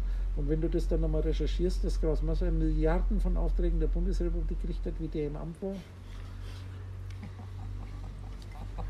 Das sind Fehler im Führerscheinprüfungsbogen. Wie war das gestern, Dieter? Du musst irgendwann einmal anfangen, nicht nochmal aufzuregen, sondern zu freuen, wenn du einen Fehler siehst. Dann hast du den Führerscheinprüfungsbogen weggekriegt. Das heißt, ein einfacher Blick in den Nachthimmel sagt bereits, das da oben ist ganz anders, als alle Science-Fiction-Geschichten uns erzählen wollen. Science-Fiction-Geschichten leben davon, dass immer irgendwas passiert. Also die Jungs und die Mädels fliegen von der unten los und kaum sind sie irgendwo draußen im Weltall, schon treffen sie andere, kommen in irgendwelche Gefahrensituationen. Quatsch. Da draußen ist es total langweilig. Es ist überhaupt nichts los. Soll doch. Das alles, was überhaupt ist, ist in mir drin. Es ist da außen nichts. Ich gehe da noch ein Gang, weil das schon entfernt, das ist ja schon entfernt, alles, was ich mir ausdenke, was ich mir in einer gewissen Entfernung, die Sprache heilt sich in jedem Moment selber, wenn ich dich in Bewegung setze. Es ist, du wirst feststellen, mach den Kontext und es heilt sich immer selber. Du wirst aus dem Punkt nicht rauskommen. Du kannst dich aus dem Punkt herausdenken, dich woanders hindenken. Aber dieses woanders und der, der du dann zu sein glaubst, dieser ausgedachte Ich, ist auch in dir drin. Er kann nirgends anders sein. Es gibt nichts, es gibt keinen anderen Ort wie hier und jetzt, wo irgendwas existieren könnte. Weder in der Zukunft noch in der Vergangenheit noch irgendwo räumlich anders. Es ist trotzdem hier und jetzt. Ja. In einem ständigen Wechsel. Es gibt keinen öderen Platz als das Universum. Ich frage mich wirklich, weshalb ich Astronomie mache. Da oben ist nichts. Wirklich überhaupt, also die Leere, die Er da hat, schon, er hat schon einen gewissen Unterhaltungswert, hat er schon. Es ist grauenhaft und sie wird immer größer, wie Sie im Laufe des heutigen Abends sehen werden. Gut, ich weiß, man hat immer wieder Parkplatzprobleme und die Aussage, das Universum würde expandieren, das stimmt nicht miteinander überein. Aber glauben Sie es mir, das Universum expandiert tatsächlich, vor allen Dingen weit von uns entfernt. Es ist tatsächlich so. Wir haben da draußen in einem Kubikzentimeter Universum gerade mal ein einziges Teilchen. Eins. Die mittlere Dichte des Universums ist sogar ein Teilchen pro Kubikmeter. Also es ist noch weniger als Er redet jetzt wohlgemerkt von, von Deiche. Jetzt müssten wir wieder die Größenforschung. Jetzt erinnert euch, was ich euch über die 14 Millionen gesagt habe und die 1400 Millionen. Äh, 140.000 Millionen. Dass dort Zahlenwerte, er rezitiert, es ist ein geistlos nachäffender Affe. Punkt. Bei eigener Definition. Ich glaube, wir können das uns sparen. Das hat ein, ein, jetzt geht es dann total dahin. Es ist, hätte man, ich sage jetzt normal wieder als Metapher, hätte Professor Lesch 1500 etwas studiert, dann wäre er genau der Professor der Pharisäer gewesen, wenn der Galilei kommt, der schreit, es ist eine Verschwörungstheorie, der kreuzigt ihn. Der muss wieder rufen. Und dein Wissen, das du zum Denken benutzt, ist nichts anderes. Das ist bloß ein anderes Wissen. Es ist nachgeäfft, alles. Du hast noch keine eigene Meinung. Deine Meinung ist eine Anderung, es ist dein Schwamminhalt. Denk an mein schönes Beispiel wieder mit dem Baby, das man jetzt innerhalb dieser Metaphernwelten woanders aufwachsen lässt. Das, was du jetzt hörst, das ist deine Meinung, weil ich nämlich du bin. Das heißt, ich bin der, der sich jetzt das alles ausdenkt. So, gut. Jetzt mal ein Päuschen. Der ist überhaupt nichts. Also gar nichts. Das ist wirklich das fast physikal, also das ist ordentliches Nichts. Aber es ist hundertprozentig sicher im Gehirn. Und jetzt sind viele Physiker und Bewusstseinsforscher, die das Bewusstsein erforschen, das im Gehirn drin ist. Wo sitzt eigentlich das Bewusstsein? Und jetzt kommen wieder die einfachen Sätze vom Udo. Ich sage, jetzt erst einmal, dein Glaube schreibt dir vor, alles, was du siehst, alles, was du spürst, muss in deinem Gehirn sich befinden. Selbst wenn ich dir jetzt mit dem Hammer auf den Fuß hau, der Fuß spürt es nicht, da geht eine Signalleitung hoch und dann spürst du es. Rein medizinisch, am Fuß ist nichts drin, wo was spürt. Zeig mir mal ein Medizinbuch, wo behauptet wird, da ist irgendwas, was das auslöst. Da ist nur der Klingelkopf, aber die Klingel ist im Kopf. Wenn ich jetzt, die, dann müsste die Klingel im Fuß und sein, die Klingel im Fuß, wenn ich sage, der schmatzt da unten ist das Geräusch. Da ist nur der Knopf ist da, aber klingelt uns im Kopf, au, au, au, der Fuß tut mir so weh. Dein Gehirn gaukelt dir vor, dass du ein Fuß ist, sagt man. Phantomschmerz. Und dann ist immer wieder, ja, was ist da? Aber ich sage, die Frage, dass sich einer die Frage stellt, existiert eigentlich das Gehirn, wenn ich nicht dran denke? Habe ich das schon mal gesehen? Oder ist das Gehirn genauso Fantasievorstellung wie Atom und Elektronen und Wassermoleküle? Das sind doch alles Fantasievorstellungen. Das heliozentrische Weltbild zeigt es mir. Es hat noch nie einer gesehen, es ist ein logisches Konstrukt. Von der DNA will ich jetzt gar nicht reden. Es sind geistlos nachgeäffte Vorstellungen, die nur sich einer vorstellen kann, dem ich das erzählt habe. Das gilt übrigens auch für die, die das angeblich entdeckt haben, die Wassermoleküle und so weiter. Oder die elektromagnetische Strahlung. Und dann kann er jetzt Vorlesungen von dem Lesch, in dem, wenn du weitergehst, wo er dann immer sagt, ein ganz interessantes Phänomen, wir Physiker, dass da irgendwelche Physiker anhand von Berechnungen irgendwas postulieren, wie das sein könnte, was dann Jahre später angeblich in Versuchen entdeckt wird. Ob das das Higgs-Teilchen ist oder die elektromagnetische Strahlung oder, oder, oder, oder. Zuerst ist die Formel da, die Berechnung. Jetzt habe ich schon wieder vorher und nachher. Jetzt müssen wir das gleich die Zeit machen. Wenn du in den Spiegel lächelst, lächelt das Spiegelbild. Da gibt es eine Hierarchie, die hat aber nichts zu tun mit Vorher und Nachher, sondern mit Subjekt und Objekt. Und jetzt muss ich bloß wissen, dass These und Antithese, Subjekt und Objekt, beides, dieses Bärchen, beides Objekte sind für den, der sich dessen bewusst macht. Dass ein ausgedachtes Subjekt oder ein ausgedachter Gott gar kein Gott sein kann. Es sind Geschöpfe. Wie ich auch der Heilige Geist platzt auf in Gott Vater, Gott Sohn und die zwei sind, sagst du mal, schon zwei ausgedachte Dinge. Und ausgedacht haben wir uns geeinigt, setzen wir jetzt das mal Minus. Und diese zwei Minus geben dann das Plus den Heiligen Geist, aber nur in der Kombination. Einen JCH gibt es nicht ohne einen UB und einen UB gibt es nicht ohne einen JCH. Und wenn die zwei eins waren, jetzt kommt die Triade-Lehre von Hegel, HGL, die Welle, dann wirst du feststellen, dass der JCH dann zwangsläufig in Verbindung dieses Ich-UB ist dann wieder eins. Die brauchen jetzt ein rotes Ich. Der braucht aber ein blaues Ich. Das, und jetzt schaukelt sich das in der Triadenlehre hoch, die keiner verstanden hat. Ursache ist raumzeitliches Denken. Immer wieder, es ist vorher schon was gewesen. Der Lesch, die Größe, die Vorher und das Nachher. Und es ist so leicht, so leicht, hundertprozentig sicher zu überprüfen, wenn ich was denke, denke ich es jetzt. Du kannst in einer Stunde kein Glas Wasser trinken.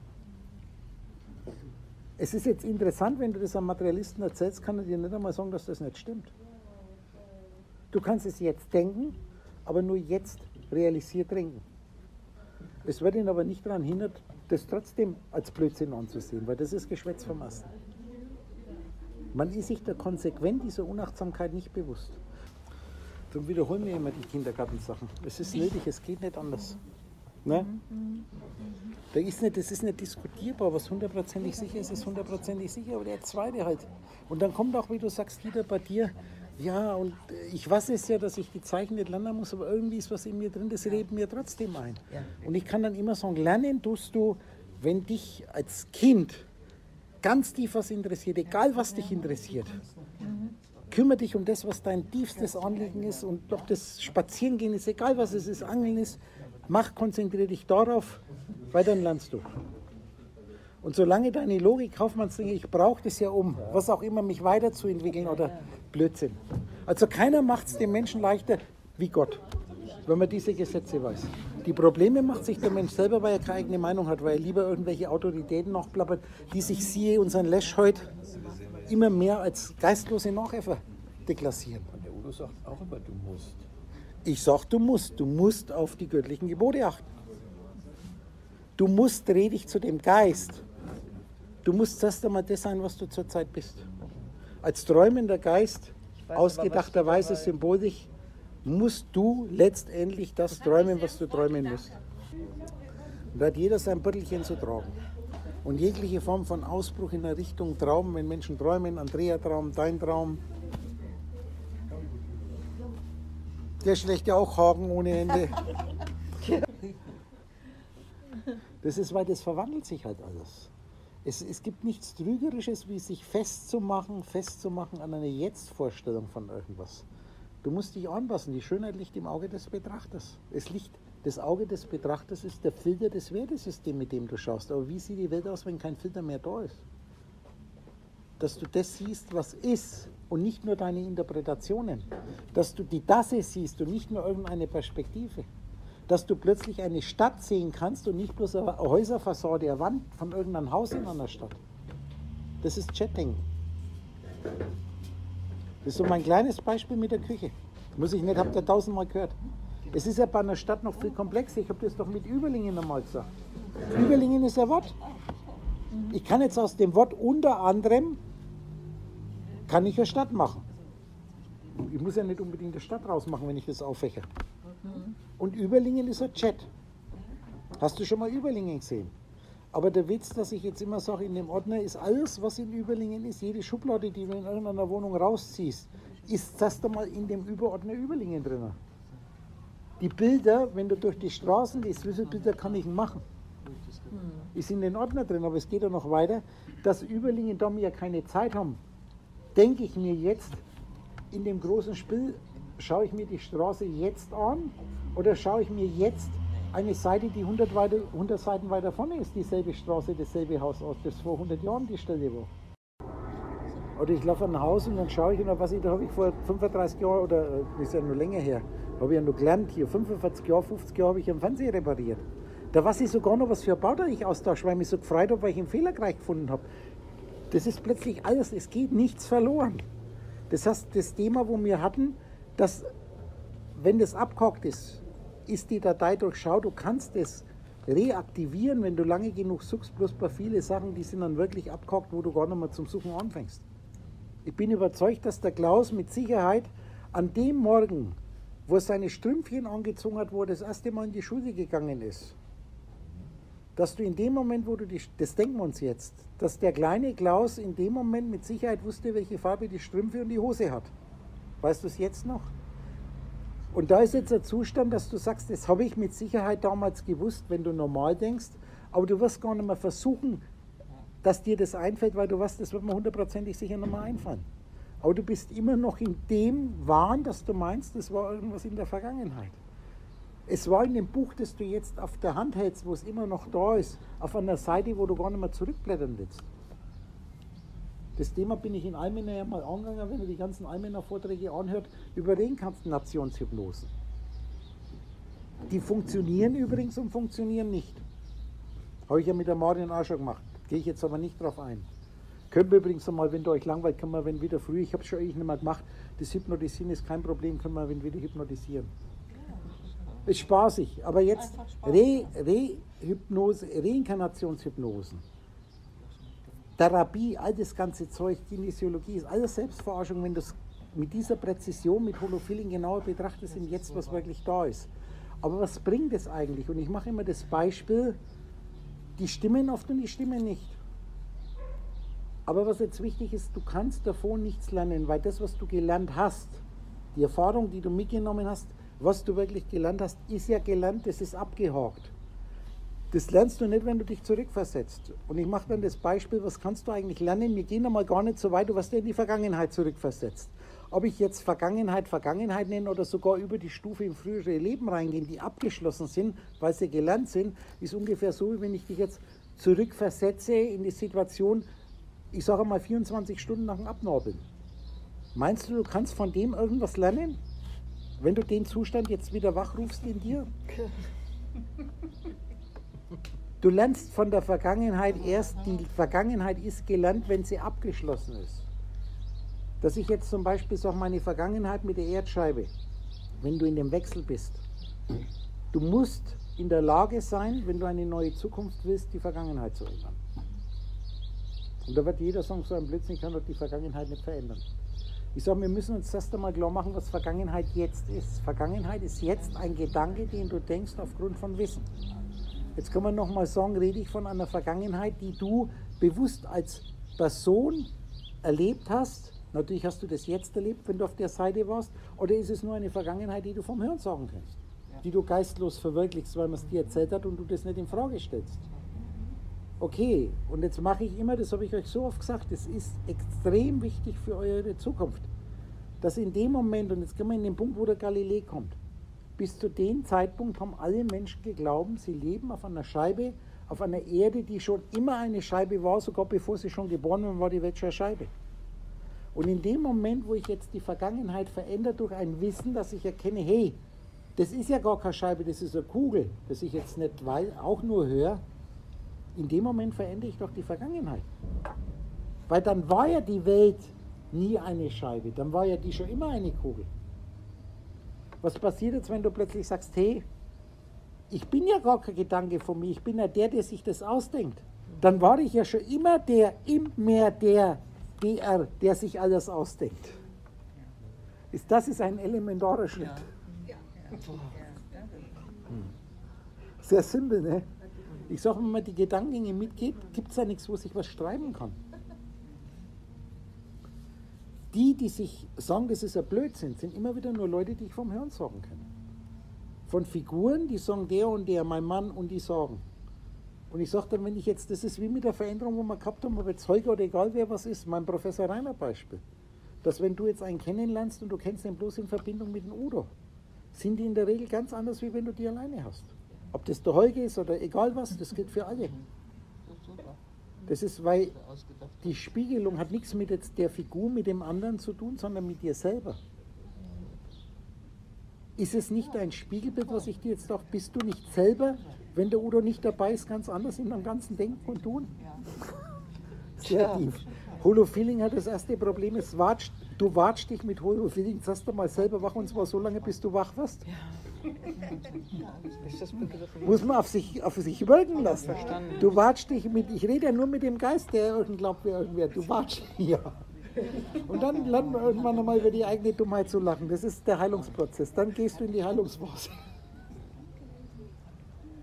Das macht die Weisheit aus.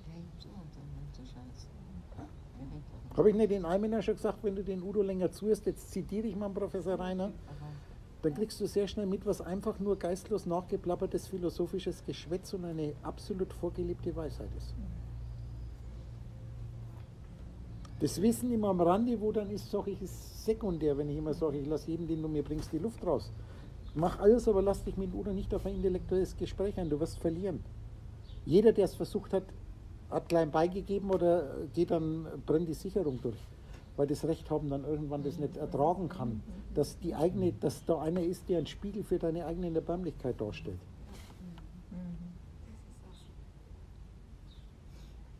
Obwohl du eigentlich hier Gott bist. Ein Schöpfer.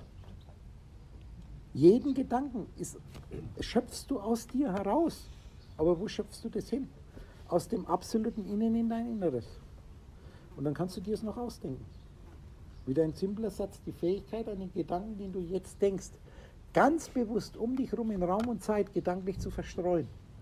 Macht dich zu dem Gott für das Zeug, das du dir ausdenkst. Aber es existiert immer bloß das, was du jetzt denkst, hier und jetzt in deinen Kopf und rein illusioniert dort, wo du dir es hindenkst. Jetzt können wir so, jetzt kannst du den Mars denken und den Mond und die ganzen Sterne und ich sage, zeig's mir. Wo waren die jetzt, bevor ich die Worte ausgesprochen sind und wo sind sie, wenn du da jetzt nach oben schaust? Inwieweit kann ich nach oben schauen, wenn ich eine VR-Brille aufhabe? Na, lasst euch morgen mal überraschen, wenn der, We- wenn der Nerd kommt mit seiner VR-Brille. Ich kann es jedem nur anraten, wenn er die noch nicht aufgehabt hat, dass es aufsetzt. Brutal beeindruckender noch von der Bildqualität her. Und dann sind dann, ich habe einen Satz im Bleinfeld. Ich habe gesagt, hast du die Brille aufgehabt? Ja. Hast du die Semmel angeschaut? Vier, fünf Mann am Tisch. Boah, die Semmel. Die Semmel. Brötchen. Dann haben die fünf Minuten nicht an der Semmel. Ihr müsst, wenn der Nerd da ist, ihr müsst die Semmel anschauen. Wieso? Weil da liegt der Semmel am Boden, dann buckst du dich und du hebst die Semmel auf. Und ich garantiere dir, wenn ich jetzt eine Semmel dir in die Hand gebe und du magst es so, hast du in dem Abstand eine materialisierte Semmel vor den Augen. Bah, die Semmel, nur eine Semmel. Ich sag, dass man so erfreut haben kann mit einer Semmel, die gar nicht da ist. Zumindest nicht da außen.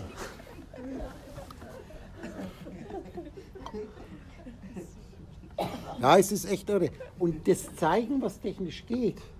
Und jetzt können wir wieder, wenn man das anschaut, müssen wir dann wieder den Lesch machen. Der hat ja auch ein Video über VR. Und dann hören wir uns den Lesch an, wo er absichtlich, aber man geht halt in Irrealitäten, in diesen Cyberspace, weil man, man wird unrealistisch. Es ist ganz gefährlich, so beeindruckend das technisch ist, dass viele hier praktisch in eine Irreali Irrealität abgleiten, in der sie sich eigentlich gar nicht abgleiten, weil sie drin sind. Das ist immer alles gespiegelt. Materialismus dreht alles auf den Kopf. Und die ganze Entwicklung der Schriften, der Heiligen Schriften, ist schon in der Bibliothek da gewesen. Wenn ich jetzt sage, jetzt machen wir Laberschriften mit den Gehirnrauben, werde ich dir zeigen, dass dort alles vorbereitungsfähig war, um dich da hinzuführen. Und dann kann man einen Sprung machen in eine komplett andere Ebene. Der automatisch kommt, so wie nach der Raube, wenn die Laube ihr Raubendasein eigentlich überlebt, weil viele Rauben werden ja auch gefressen. Und das ist mein Kastanienbeispiel. Wie viele Kastanien fallen von Kastanienbäumen runter und wie viele neue Bäume? Samen ist Überfluss, die Pollen. Wie mit den Polen. Du kennst das mit den Polen, oder? Kannst du dich erinnern? Das haben sie jetzt in Münster, hast du, ihr seid doch von Münster, oder? Da sind Autos geklaut worden nach Hafen. Eine, eine Riesen, in Münster wurden sehr viele Autos geklaut und die Polizei hat diese Autoschieberbande, hat die entdeckt, das waren Pinguine. Das ist jetzt kein Witz. Wir nennen sie Südpolen.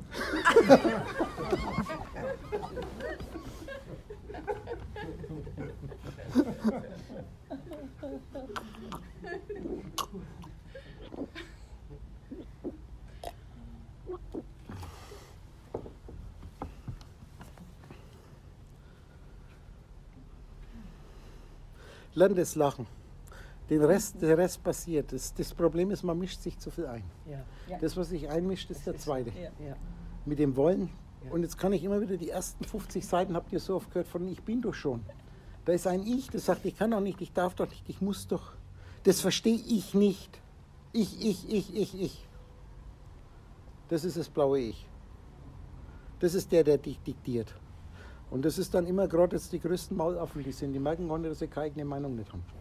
Die, die am meisten meinen, glauben, jetzt in der Beobachtung, die hingucken, dass sie eine eigene Meinung hätten und die massiv ihre Meinung verdrehen, die ja hundertprozentig sicher ist, das ist auch bewiesen, dass. Das ist geistlos nachgeäfft. Und umso mehr du eine ureigenste Meinung kriegst, wirst du dich immer mehr von solchen Einseitigkeiten distanzieren. Da gibt es keine Rechthaberei mehr, sondern bloß das absolute Verstehen, dass jeder Recht hat, egal was er behauptet. Und ich kann es nur wieder vergleichen mit meinem momentanen Intellekt, ob ich das nachvollziehen kann oder nicht nachvollziehen kann. Und richtig interessant und wichtig sind die Seiten, die du nicht nachvollziehst, auf die solltest du neugierig sein und nicht bekämpfen. Weil du genau das bekämpfst und versuchst zu vernichten, was du für deine eigene Heiligung brauchst, nämlich das, was dir fällt zum heiligen Ganzen. Das, was dir jetzt richtig erscheint, hast du ja schon, die Bastelstückchen. Aber zur Vervollkommnung brauchst du genau das, was du versuchst loszukriegen. Wobei sich das, du würdest es loskriegen in dem Moment, wo du es haben willst. In dem Moment, wo ich die Dreiecke zum meinen Kreis haben will, lösen sie sich nämlich auch auf, aber dann kriege ich einen Kegel dafür. Wenn ich die aber bloß wegmache und weil ich nur den Kreis haben will, werde ich den Kegel nie zu Gesicht bekommen und kriege die Dreiecke trotzdem immer wieder vorgesetzt, weil die wollen ja angelegt werden, die wollen ja geheiligt werden. Das ist geliebt werden. Lieben ist eins werden wollen, die rote Liebe.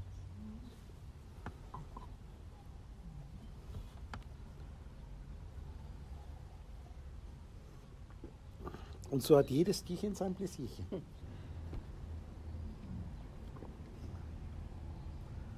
Immer dieselben Geschichten, leicht variiert.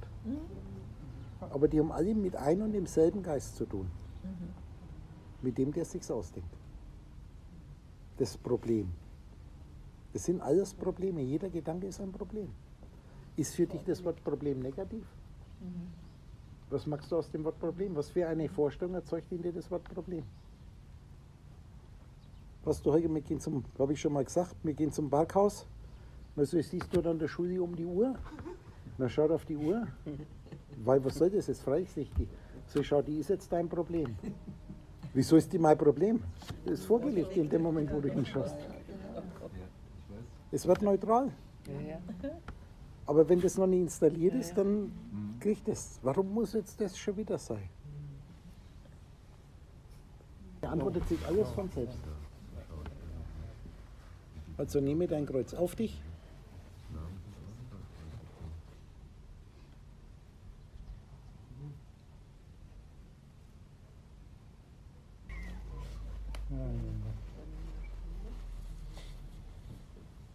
So still.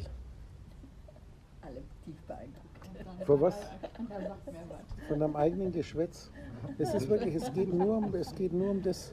Und dann ist diese Sackgassen wie hinsetzen und sich in die Stille meditieren und alles ist alles, ist überall ein Quäntchen Wahrheit mit dabei. Aber die Stille bist du doch schon. Und das um dich herum ist der Lärm. Und das kannst du nicht abstellen. Weil das würde heißen, du wirst versuchen, dein Denken abzustellen. Ein Ding der Unmöglichkeit. Das hat jetzt begonnen und es wird jetzt ewig da sein. Das Denken. Und dann versucht es wieder an materialistischen Logik zu erklären. Die sagt, ja, aber wenn ich doch dann fünf Stunden schlafe, ohne zu träumen, dann denke ich doch fünf Stunden nicht. Ich sage, du denkst jetzt an Vergangenheit, in der nie was war. Und während du dir das denkst, was du dann fünf Stunden nicht denkst, denkst du jetzt. Und die angeblich fünf Stunden, die du dir jetzt in die Vergangenheit denkst, es war in der Vergangenheit überhaupt nichts. Also auch nicht ein Zeitraum des Nichtdenkens. Es ist übrigens auch wieder das Prinzip, um etwas zu verneinen, was ja auch, da habe ich nicht gedacht, ist eine Verneinung. musst du denken. Das Denken, wo du angeblich, was angeblich nicht da war. Und dann ist es doch da. Das sind die der zwei Seiten wieder. Das Nichts und das Alles. Und da merkst du ganz schnell, wenn neugierig, da geht die Elementaraussagen, da nützt die Intellekt gar nichts, sondern da ist besser, wenn ihr nicht werdet wie die Kinder, die noch nicht so zugemauert sind Ja. mit Dogmen. Das sind dann die Kinder, die sich hinstellen, die Augen zumachen und sagen, jetzt ist die Nadja weg. Wobei mit Holophilen die natürlich, weil wir reden ja noch und die noch da ist, aber das ist denn ihr voller Ernst, jetzt ist das Haus weg. Ja. Das Kind sieht mehr wie einer, der dann weiß, es ist ja trotzdem da. Und wenn du dann ganz viel weißt, weißt du, dass da jetzt auch Steine sind, obwohl keine da sind. Und dann, weil du dies erklären kannst, wieso die sind, obwohl du sie nicht siehst.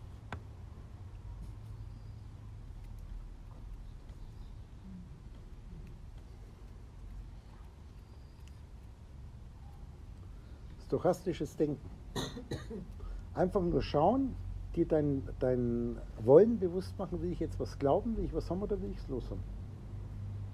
Und wenn du Energie reinsetzt, dann wird sich das verwirklichen, was natürlich problematisch ist, weil ich jetzt wieder nur von zwei Seiten rede und das müssen wir jetzt wieder ausgleichen mit vier Seiten. Ich will mein Denken los haben, ich will ein anderes Denken haben.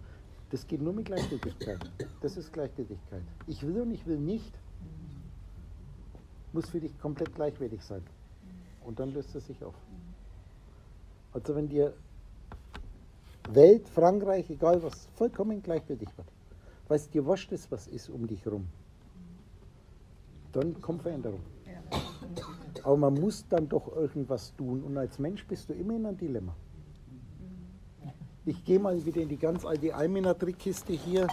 Äh, ich mache da zwei Beispiele, ihr habt da zigfach gehört, aber das ist jeden Tag werdet ihr zigfach normal gesprochen mit solchen Problemen konfrontiert und dann fällt es nicht auf, weil ihr nicht diesen absoluten Beobachterlaufen eingeschaltet habt. Das war einmal die Sache hier mit meinem Rainer, der da sitzt, beim Professor Rainer.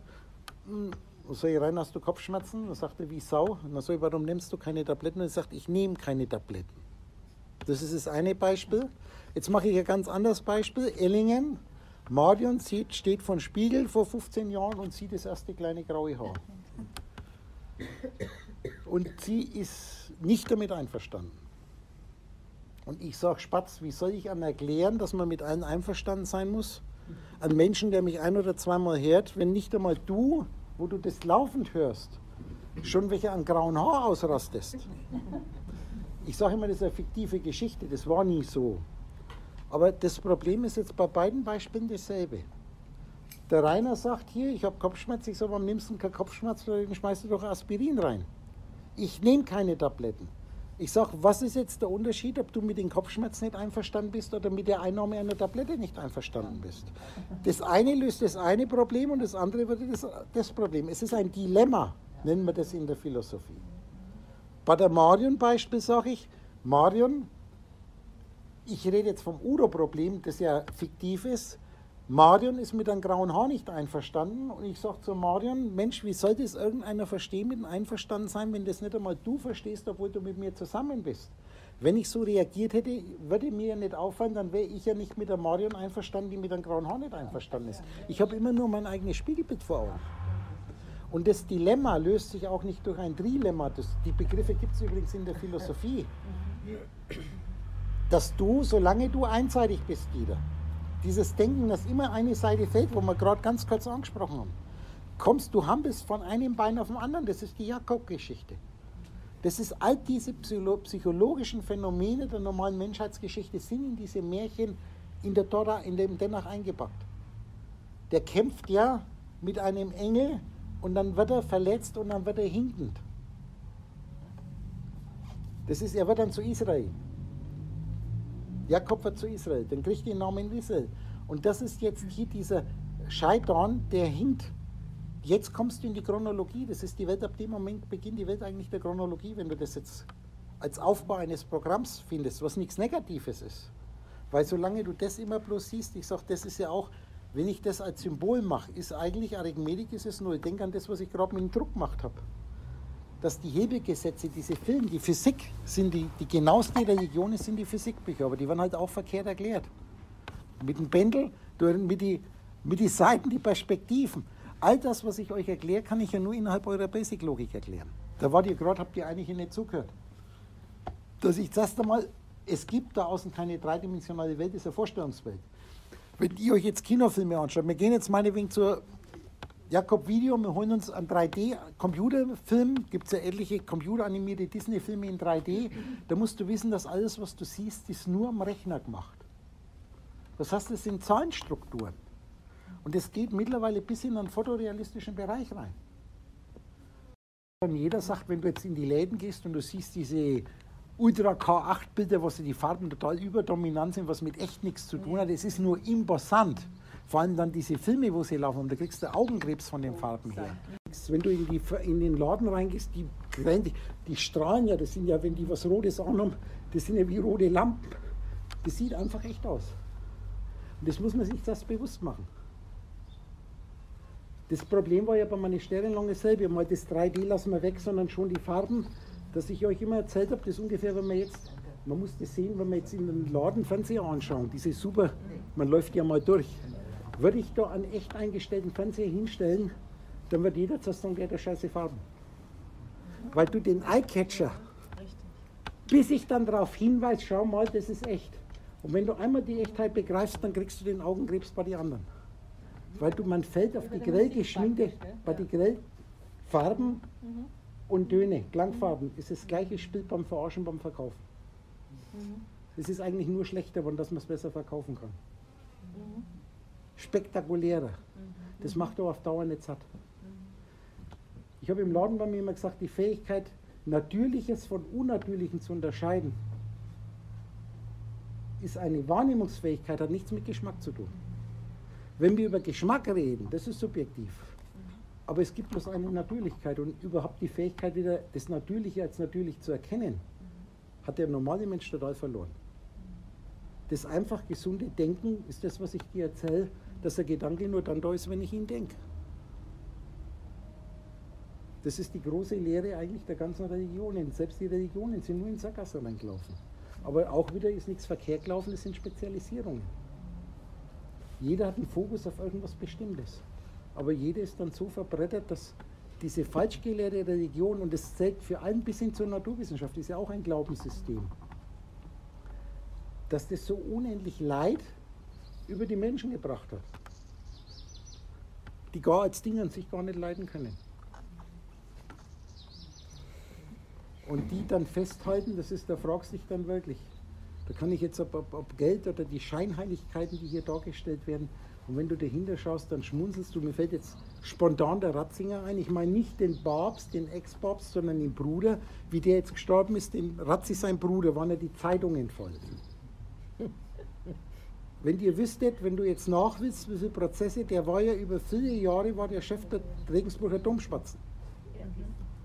Was der Prozesse hat, nicht wegen Kindervergewaltigung, sondern schlichtweg und einfach welche Kinderquellen, wie viele Psychosen er aufgebaut hat, die er mit Zucht, mit Zucht, die bei den Regensburger Dompflanzen, das muss ein, ein Tyrann gewesen sein ohne Ende und ein Choleriker, hier mit Gewalt, die er zu Hochleistungsgetrieben hat. Er hat jetzt nicht, den wirft mir nicht vor, dass er welche sexuell bedingt hat, was bei vielen Vater der Fall ist, aber mit Prügelstrafe und Stockstrafe hat er die zu Hochleistungen gebracht. Da wird kein Wort, dass da Prozesse gelaufen sind, dass der so viel diesbezüglich im wahrsten Sinne Dreck am Stecken, SD-Ecken, DREC hat. Kein Wort, nur toll und toll und klasse diese Scheinheiligkeit dieser Darstellung. Und ein absolut brutaler Tyrann. Machtmenschen ist immer wieder dasselbe. Macht haben wollen. Mhm. Ja. Politik, ich sage immer wieder, wenn du an Armmäße, an, an, an, an Geist, einigermaßen geistigen Charakter hast, kannst du gar nicht in die Politik. Und was die Charaktere sind, das siehst du in allen Orten. Das immer wieder, wenn ich jetzt, das ist taub, der normale Mensch ist taub und das werde ich erst mitkriegen in dem Augenblick, wo ich begreife, die Menschen, die ich mir ausdenke, von denen darfst du nichts mehr erwarten. Immer daran denke ich, erzähle sie jetzt nur einem einzigen. Erwarte nichts von den Figuren in einem Traum, es geht um den, der träumt. Auf dieser unteren Ebene gelten diese klassischen Gebote, das, was du einen anderen tust, tust du dir selber, im Positiven im Negativen. Aber es geht nicht ums Positive oder Negative tun, sondern dass du der Mittelpunkt wirst, aus dem alles entspringt. Und du hast jetzt ein Programm und das lässt du einfach laufen. Wenn es dir dann noch ist, dann mach das. Das ist jetzt wieder hier mit Lernen wieder. Lernen tust du, wenn du das, was im tiefsten Innern, wo du sagst, das ist, hier bin ich, hier stehe ich, ich kann nicht anders. Ich würde jetzt auch lieber Fahrrad fahren mit dem Holger hier so vor mich hin und euch nicht zuquatschen, Sachen, die ich euch schon tausendmal erzählt habe. Wenn ich jetzt so reden tue, mir ist in dem Moment absolut bewusst, dass ich jetzt nicht zu denen rede, die ich mir ausdenke, sondern zu denen, der mir jetzt zuhört. Und das ist mit Sicherheit nicht irgendeiner von denen, die ich mir ausdenke. Alle nur auf der Fahrbrille. Seid ihr weg, seid ihr wieder da. Und ich weiß, dass da nichts von außen kommt, sondern ich euch jetzt erschaffe. Euch. Jetzt rede ich wieder zu welchen, die mich sowieso nicht hören. Jetzt wird jeder von euch sich denken, aber ich höre ihn doch. Ja, der, der mich hört, ist aber nicht der, der du zu sein glaubst. Du merkst jetzt, wenn man die Grundlagen hat, mir ist das jeden Moment bewusst.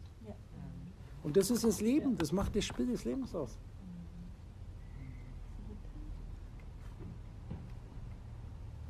Und das ist jetzt nicht einer, der dann meint, er ist besser wie die anderen.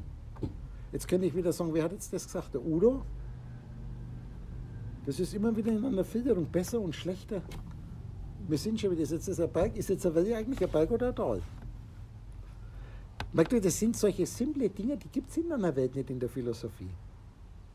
Das ist, das ist so ausschlaggebend. Jetzt gehen wir größere Kollegen. Ist jetzt eine Wohnung eigentlich eine Küche, ein Schlafzimmer, ein Wohnzimmer oder ein Klo oder ein Badezimmer? Dass ich sage, was sind das eigentlich für dumme Fragen? wenn das einer fragt, was er offensichtlich nicht, dass die Frage schon beantwortet ist, wenn du weißt, was eine Küche ist. Aber dann wieder die Küche, das Wort Küche ist etwas, was noch kein Bild ist, aber viele Bilder beinhaltet. Das ist eine vollkommen neue Philosophie, die allumfassend ist. Das sind so diese kleinen Bastelstückchen, die sich dann in dem Raum von 20 Jahren, wenn man immer hört und dran bleibt, merkst du jetzt immer mehr Verknüpfungen auch in dem Alltag, dass jetzt irgendwann einmal Sachen, die einfach in den Raum reingestellt werden, sich irgendwie ineinander fügen. Und da muss man halt ganz schlichtweg und einfach immer, immer sehr wach einfach mal das auf einen einprasseln lassen. Und ich sage immer wieder, Bastelstückchen, die ich nicht anlegen kann, nicht vernichten oder weghauen. So wie beim Bastelspiel einfach mal auf die Seite. Ich sage, wir sortieren es erst einmal grob. Beim großen Bastel haben wir verschiedene Grüns und dann sehe ich, okay, das Grün ist ein anderes Grün wie das hier da drüben. Also kann wahrscheinlich die Grüns zusammen, die tue ich einmal, wo der, von dem Grün was ist weg und von dem Grün was weg, dann haben wir Blau, das kann wahrscheinlich nach oben. Und dann sind so die, wenn wo schwieriger sind. Und irgendwo fange ich dann an und dann drehe ich die Dinger und was ich nicht kann, lege ich dann die Grünen wieder und irgendwann setzt sich das zusammen. Aber ich habe es euch ja leicht gemacht. Ich mache mal folgendes. Du stellst dir jetzt vor, wir haben 5000 Teile Bastel. Kann man kaufen bei Ravensburger. Und da ist ja ein kleiner Trick. Das ist Kindergartenbassel, sind das normale Bassel, das du dir denkst, ist die Erleichterung, die ich euch gemacht habe, dass auf einer Seite ein Bild ist. Ob jetzt das eine Landschaft ist oder Stadt oder Paris oder egal, spielt keine Rolle. Ihr kennt die Bassel und die Rückseite sind alle grün. Das heißt, du wirst das erste Mal so hinlegen, dass die farbige Seite oben ist und das Grün ist hinten. Wenn ihr dann das zusammengesetzt habt, kriegt ihr die höhere Schwierigkeitsstufe, wo vorne ein Bild drauf ist und hinten ein Bild drauf ist. Und jetzt mischen wir die durch. Und jetzt, das ist jetzt natürlich, das ist ein Meisterbast. Weil jetzt musst du jetzt erst einmal wissen, wie du musst. Das. Jetzt ist nicht nur, dass ich dann die Farben sortiere, sondern ich weiß dann auch nicht, kann es zu dem Bild oder zu dem Bild. Weil uns soll es ja nicht langweilig werden.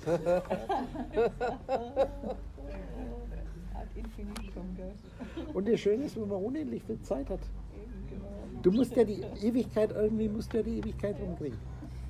Und dann wird sich das Denken so relativieren, dass du plötzlich merkst, was für ein Hönnschiss habe ich eigentlich, wenn sich alles bloß um den dreht, der ich zu sein glaube, der mit Wünschen konfrontiert wird, wo er sich quält, wo er sich den Arsch aufreißt, die in der Ewigkeit so ein Nichts sind, dass es gar ein Pups, dass es gar nicht wert ist, dass man sich da so groß den Kopf drüber zerbricht. Und du kannst dich in Nichtigkeiten reinsteichern, das ist der Wahnsinn, die sich dann wie eine Tretmühle wiederholen.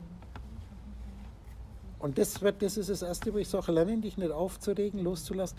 Leb dein Leben, mach es, was du tun musst, tust du. Die bleibt gar nichts anderes über. Aber krieg als, als der, der es erlebt, einen Gleichgültigkeitszustand dass du einen Heilungsprozess einleiten kannst. Und setz nicht in irgendeiner Form, was in der Zukunft sein könnte. Mach es spontan. Das merkst du dann schon. Die Welt der Interessen. Und dann wirst du dich mehr fokussieren und es geht halt im, im Alter dann etwas leichter, weil man doch irgendwie freier wird. Und das, die Welt um dich rum mit den eigenen Meinungen, es hat von deinen, deinen Figuren keine eigene Meinung. Jetzt selbst normal gesprochen, klappern die nach, dann kommt natürlich, es ist ja, weil ich denke, was soll mir das sagen? Inwieweit sind das noch meine Spiegelbilder? Dann mache ich immer so einen Flash hier zurück, wo ich jetzt gerade schaue ich in den alten grauen Mann da hinten an. Und da ist mir jetzt gerade die Stelle, wo hier der Günni zu mir kommt und sagt hier äh, von der Nadja Mann, der hätte mal eine Frage an mich. Da weiß ich nur genau, wo du gesessen bist. Da seid ihr hinten in dem Raum, in den Zeiten, wo man raus ist, weiß ich nur genau, wo du gesessen bist. Zack, sofort sind die Bilder wieder da. Ich denke, mein Gott, ist der alt worden.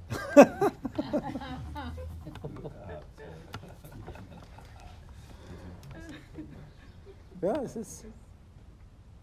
Und geflasht hatten der Spiegeltunnel. Der hat ihn weggeflasht damals. Das war der Reizauslöser. Dass du gesagt das ist einmal ein Denken gewesen, wo für dich vollkommen neu war. Und du merkst jetzt, da kann man immer noch eins drauf machen, immer noch eins drauf machen und das macht das Leben interessant. Und der Rest ist immer auch die Erkenntnis, was bedeutet, wenn ich was verliere. Die zwei Seiten, wenn ich es mir ausdenke oder wenn ich es zurückkriege. Und dann merke ich jetzt, dass meine Logik wirklich alles auf den Kopf stellt. Das ist dieser erste Trick. Mach dir bewusst, wie du was bewertest und ohne Wenn und Aber dreh es einfach gedanklich, sobald es dir möglich ist, um 180 Grad. Das heißt, alles, was für dich jetzt gut und schön war, in einem spontanen Ding, machst du total negativ. Und alles, was für dich negativ war, machst du positiv. Bei manchen Sachen geht es leichter, bei anderen Sachen geht es weniger leicht. Wenn du jetzt zum Beispiel dir denkst, Mensch, der Udo, der ist ja total super. Den musst du um 180 Grad drehen, weil du irgendwann einmal begreifen wirst, dass er das, was du zu sein glaubst, vernichten wird. Nochmal bitte. Wenn du jetzt glaubst, dass der Udo, wenn du jetzt glaubst, dass der Udo ganz so gut ist und ganz toll ist, dann dreh das um 180 Grad und du wirst feststellen, das ist dein größter Feind, weil er wird das, was du zu sein glaubst, absolut vernichten. Aber ist jetzt das positiv oder negativ? Ist das positiv oder negativ? Und jetzt kommt natürlich das Spiel, wenn Menschen träumen, träumt jeder seinen eigenen Traum. Jetzt müssen wir auch den Udo, jetzt was merken, das war komplex, dass ein Udo, den du dir ausdenkst, der kann ja dich nicht vernichten, du vernichtest ihn, wenn du ihn nicht mehr denkst. Aber im normalen Denken gehst du ja davon aus, dass da bloß eine Welt ist. Und dann sage ich jetzt als Udo, ich werde die Nadja wieder vernichten, wenn ich nicht an sie denke. Was aber ein Eins, dann verliere ich sie nicht, sondern ich hole sie mir zurück, die ich mir jetzt vorstelle. Aber gilt es nicht gespiegelt auch für. Das ist es neu. Und das komischerweise so unglaublich jetzt das im ersten Moment klingt, das ist das, was jeder sofort auf der Stelle überprüfen kann, wenn du das klar machst. Dass wenn jetzt da ein Geräusch plötzlich, wir unterhalten uns jetzt oder du hörst mir zu und dann bin ich im Moment still und dann sagt er hinten an irgendwas und du drehst den Kopf, fällt dir gar nicht auf, dass ich in dem Moment mich in Luft auflösen tue. Als Udo jetzt gesprochen. Und die Präsenz des Bewusstseins ist wirklich, dass du jeden Moment, während du ganz normal dein normales Ding weiterlaufen lässt und die Empfindung, der, der es wirklich erlebt, ist jetzt auf dem Fokus im Jetzt, was sich verändert in ihm. Das ist das Stillchen gucken. Und dann war das gerade, wo wir im Schlossbrauerei, wo ich sage, das größte Phänomen, ich nenne es einmal des Wachstums, des Erwachen deines Bewusstseins, beginnt in dem Moment, wo du in der Selbstbeobachtung immer mehr merkst, dass der, der du lebenslang zu sein geglaubt hast, dass der immer vergesslicher wird. Ja. Dass du in einer Selbstbeobachtung, wenn du dich bewusst beobachtest, immer mehr merkst, dass dieses Ding vergesslich wird. Aber es geht nicht um die Wissenselemente, die du vergisst, sondern um den, der das merkt, der bewusst ist. Der wird immer wacher mit der Vergesslichkeit dessen, den du beobachtest. Ja, das ist unglaublich. Geil. Es ist ja so geil. Es ist, nein, es ist göttlich. Es ist göttlich. Das ist Bewusstsein, das wird immer göttlicher. Wir reden von dem, was hundertprozentig sicher ist, aber eine gewisse Reife was das immer mehr mitkriegen. Und dann kann ich tausendmal sagen, das ist ein Spiel, das spielst du mit dir selber. Es ist alles, was ich erzähle, ist nur für den, der uns jetzt, uns Brüssel ausdenkt. In dieser Personifizierung. Und dann bist du ich. Das ist ein Bereich, der ist ein Anbau momentan, aber das wird immer, das kannst du nicht aufhalten. Sonst wäre ich nicht in dir auftaucht. Die erste Freiheit ist, dass man jetzt länger dran bleibt. Wenn ich immer sage, die Almener Truppe, was ja früher Almener Truppe war, das ist so der harte Kann, wie ich das immer nenne. Los, Sigmund, das sind die ganz harten.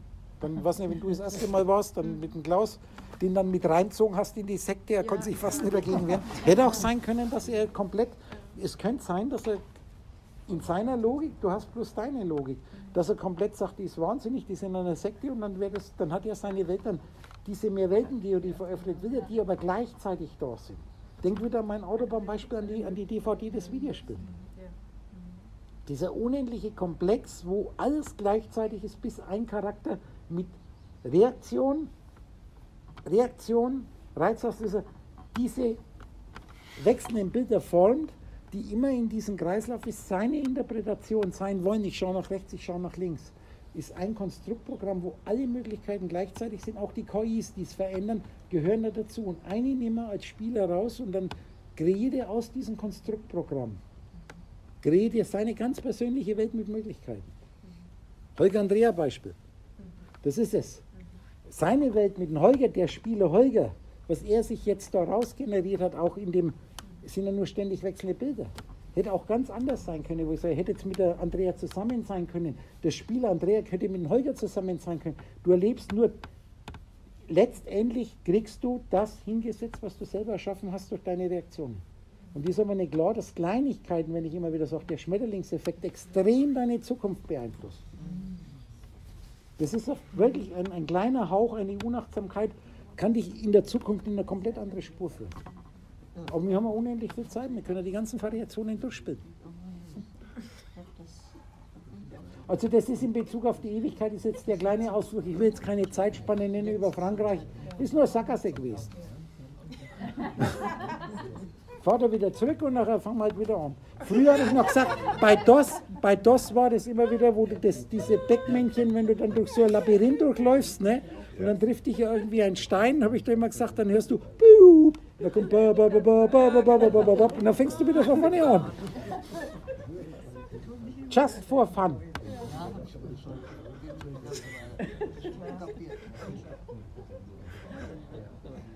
Ja, das spielt viele, viele Dinge mit rein. Das ist beim, ganz, beim ganzen Tun. Ich kenne das Spiel ja, wenn ich mal einen Holger nehme. Ich weiß nur, unser, unser Großes, wie er nach St. Andreasberg gezogen ist. Es sind Lernprozesse, Holger. Und du hast doch eigentlich erst zum Leben angefangen, wie du auf Weißenburg gekommen bist. Ja. Das war alles vom Anfang an. Udo, ähm, das war letztes Jahr. Ich kam von einem Urlaub aus Kreta zurück mit meiner Tochter. Nächsten Tag natürlich gleich zu Udo hin und sagt dann, na, sagt er, ist dir gestern oder vorgestern ist dir was aufgefallen? Und ich überlege, ich überlege. Nee, ist mir nicht aufgefallen. Naja, sagt er, du hast dich doch das erste Mal seit langem darüber gefreut, nach Hause zu kommen. Und Seit dong, vielen, dong, vielen Jahren, dong, das war noch nie. Gleich, Udo. Dong, dong, dong, dong. Ich nachgedacht, ich sag, Udo, das ist überhaupt das erste Mal in meinem Leben, dass ich mich gefreut habe. Nach dem Urlaub, dass er sich gefreut hat, heimzukommen. Es war für ihn, der Urlaub war in Davonlaufen, und um wieder in die Scheiße zurückzukehren. Und das war das erste Mal in seinem Leben, dass er sich eine, eine Heim daheim gehabt hat, wo er sich gefreut hat, dass er heimkommt. Das, hat er, das kann er nicht. Man muss die Leute zu ihrem Glück zwingen, aber ein bisschen was muss man auch selber machen.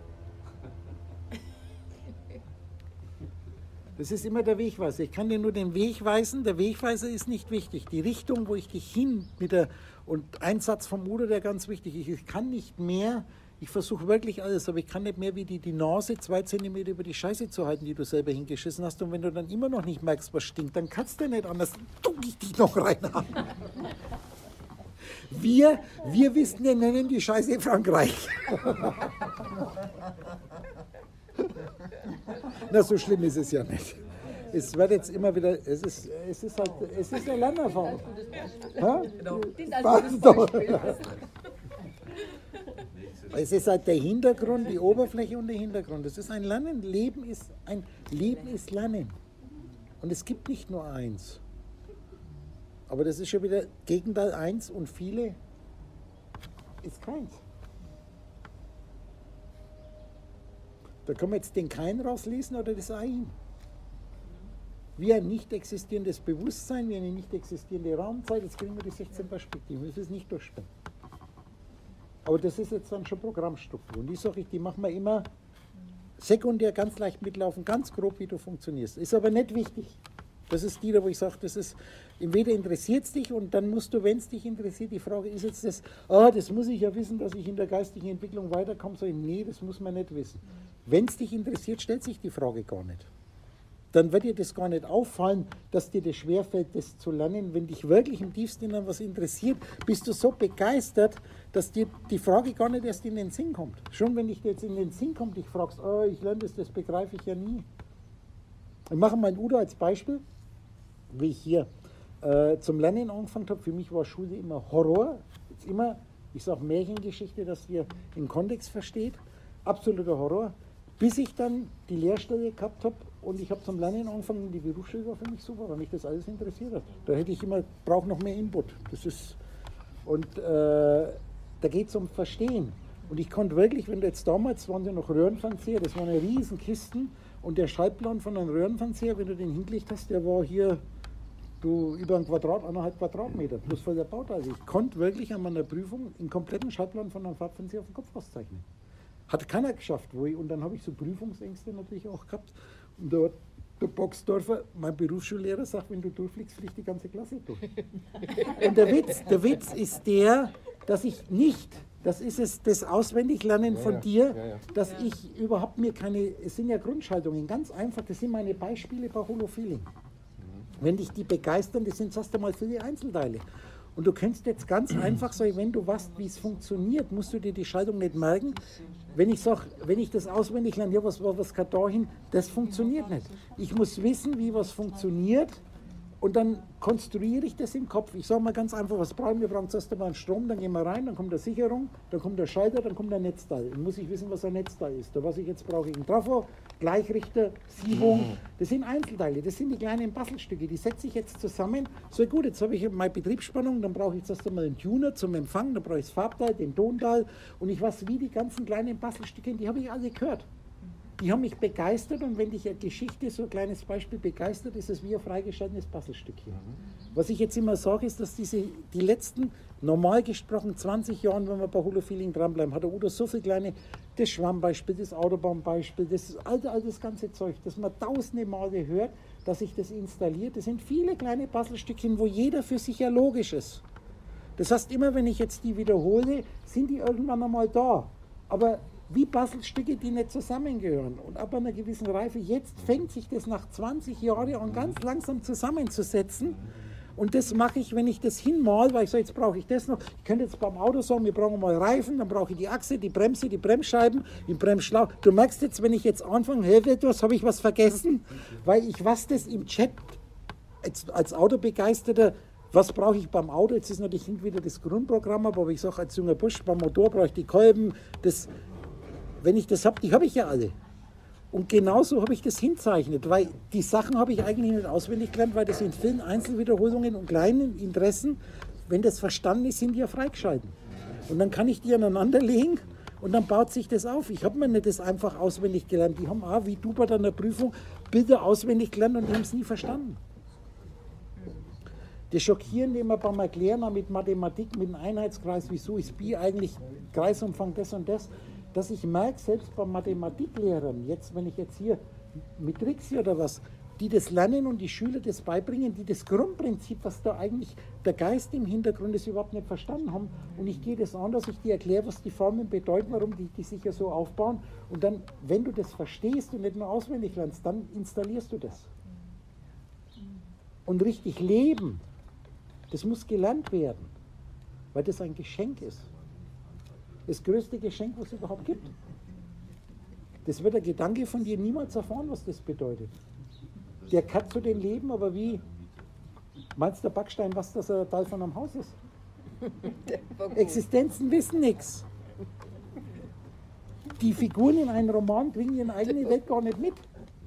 Bloß der Autor und Autor, zwei Seiten, der Zeichenerwecker. Einer macht dir die Zeichen und der andere erweckt die zu leben. Das sind zwei Seiten, das ist aber immer dasselbe. Einer, der sich's ausdenkt und einer, der das dann erlebt. Du kannst nur das erleben, was du dir selber ausdenkst. Was aber komischerweise nie da außen ist. Und jetzt wird der Materialist in seiner Einseitigkeit wieder sagen, der widerspricht sich ja laufend. Weil die das Prinzip nicht verstanden haben.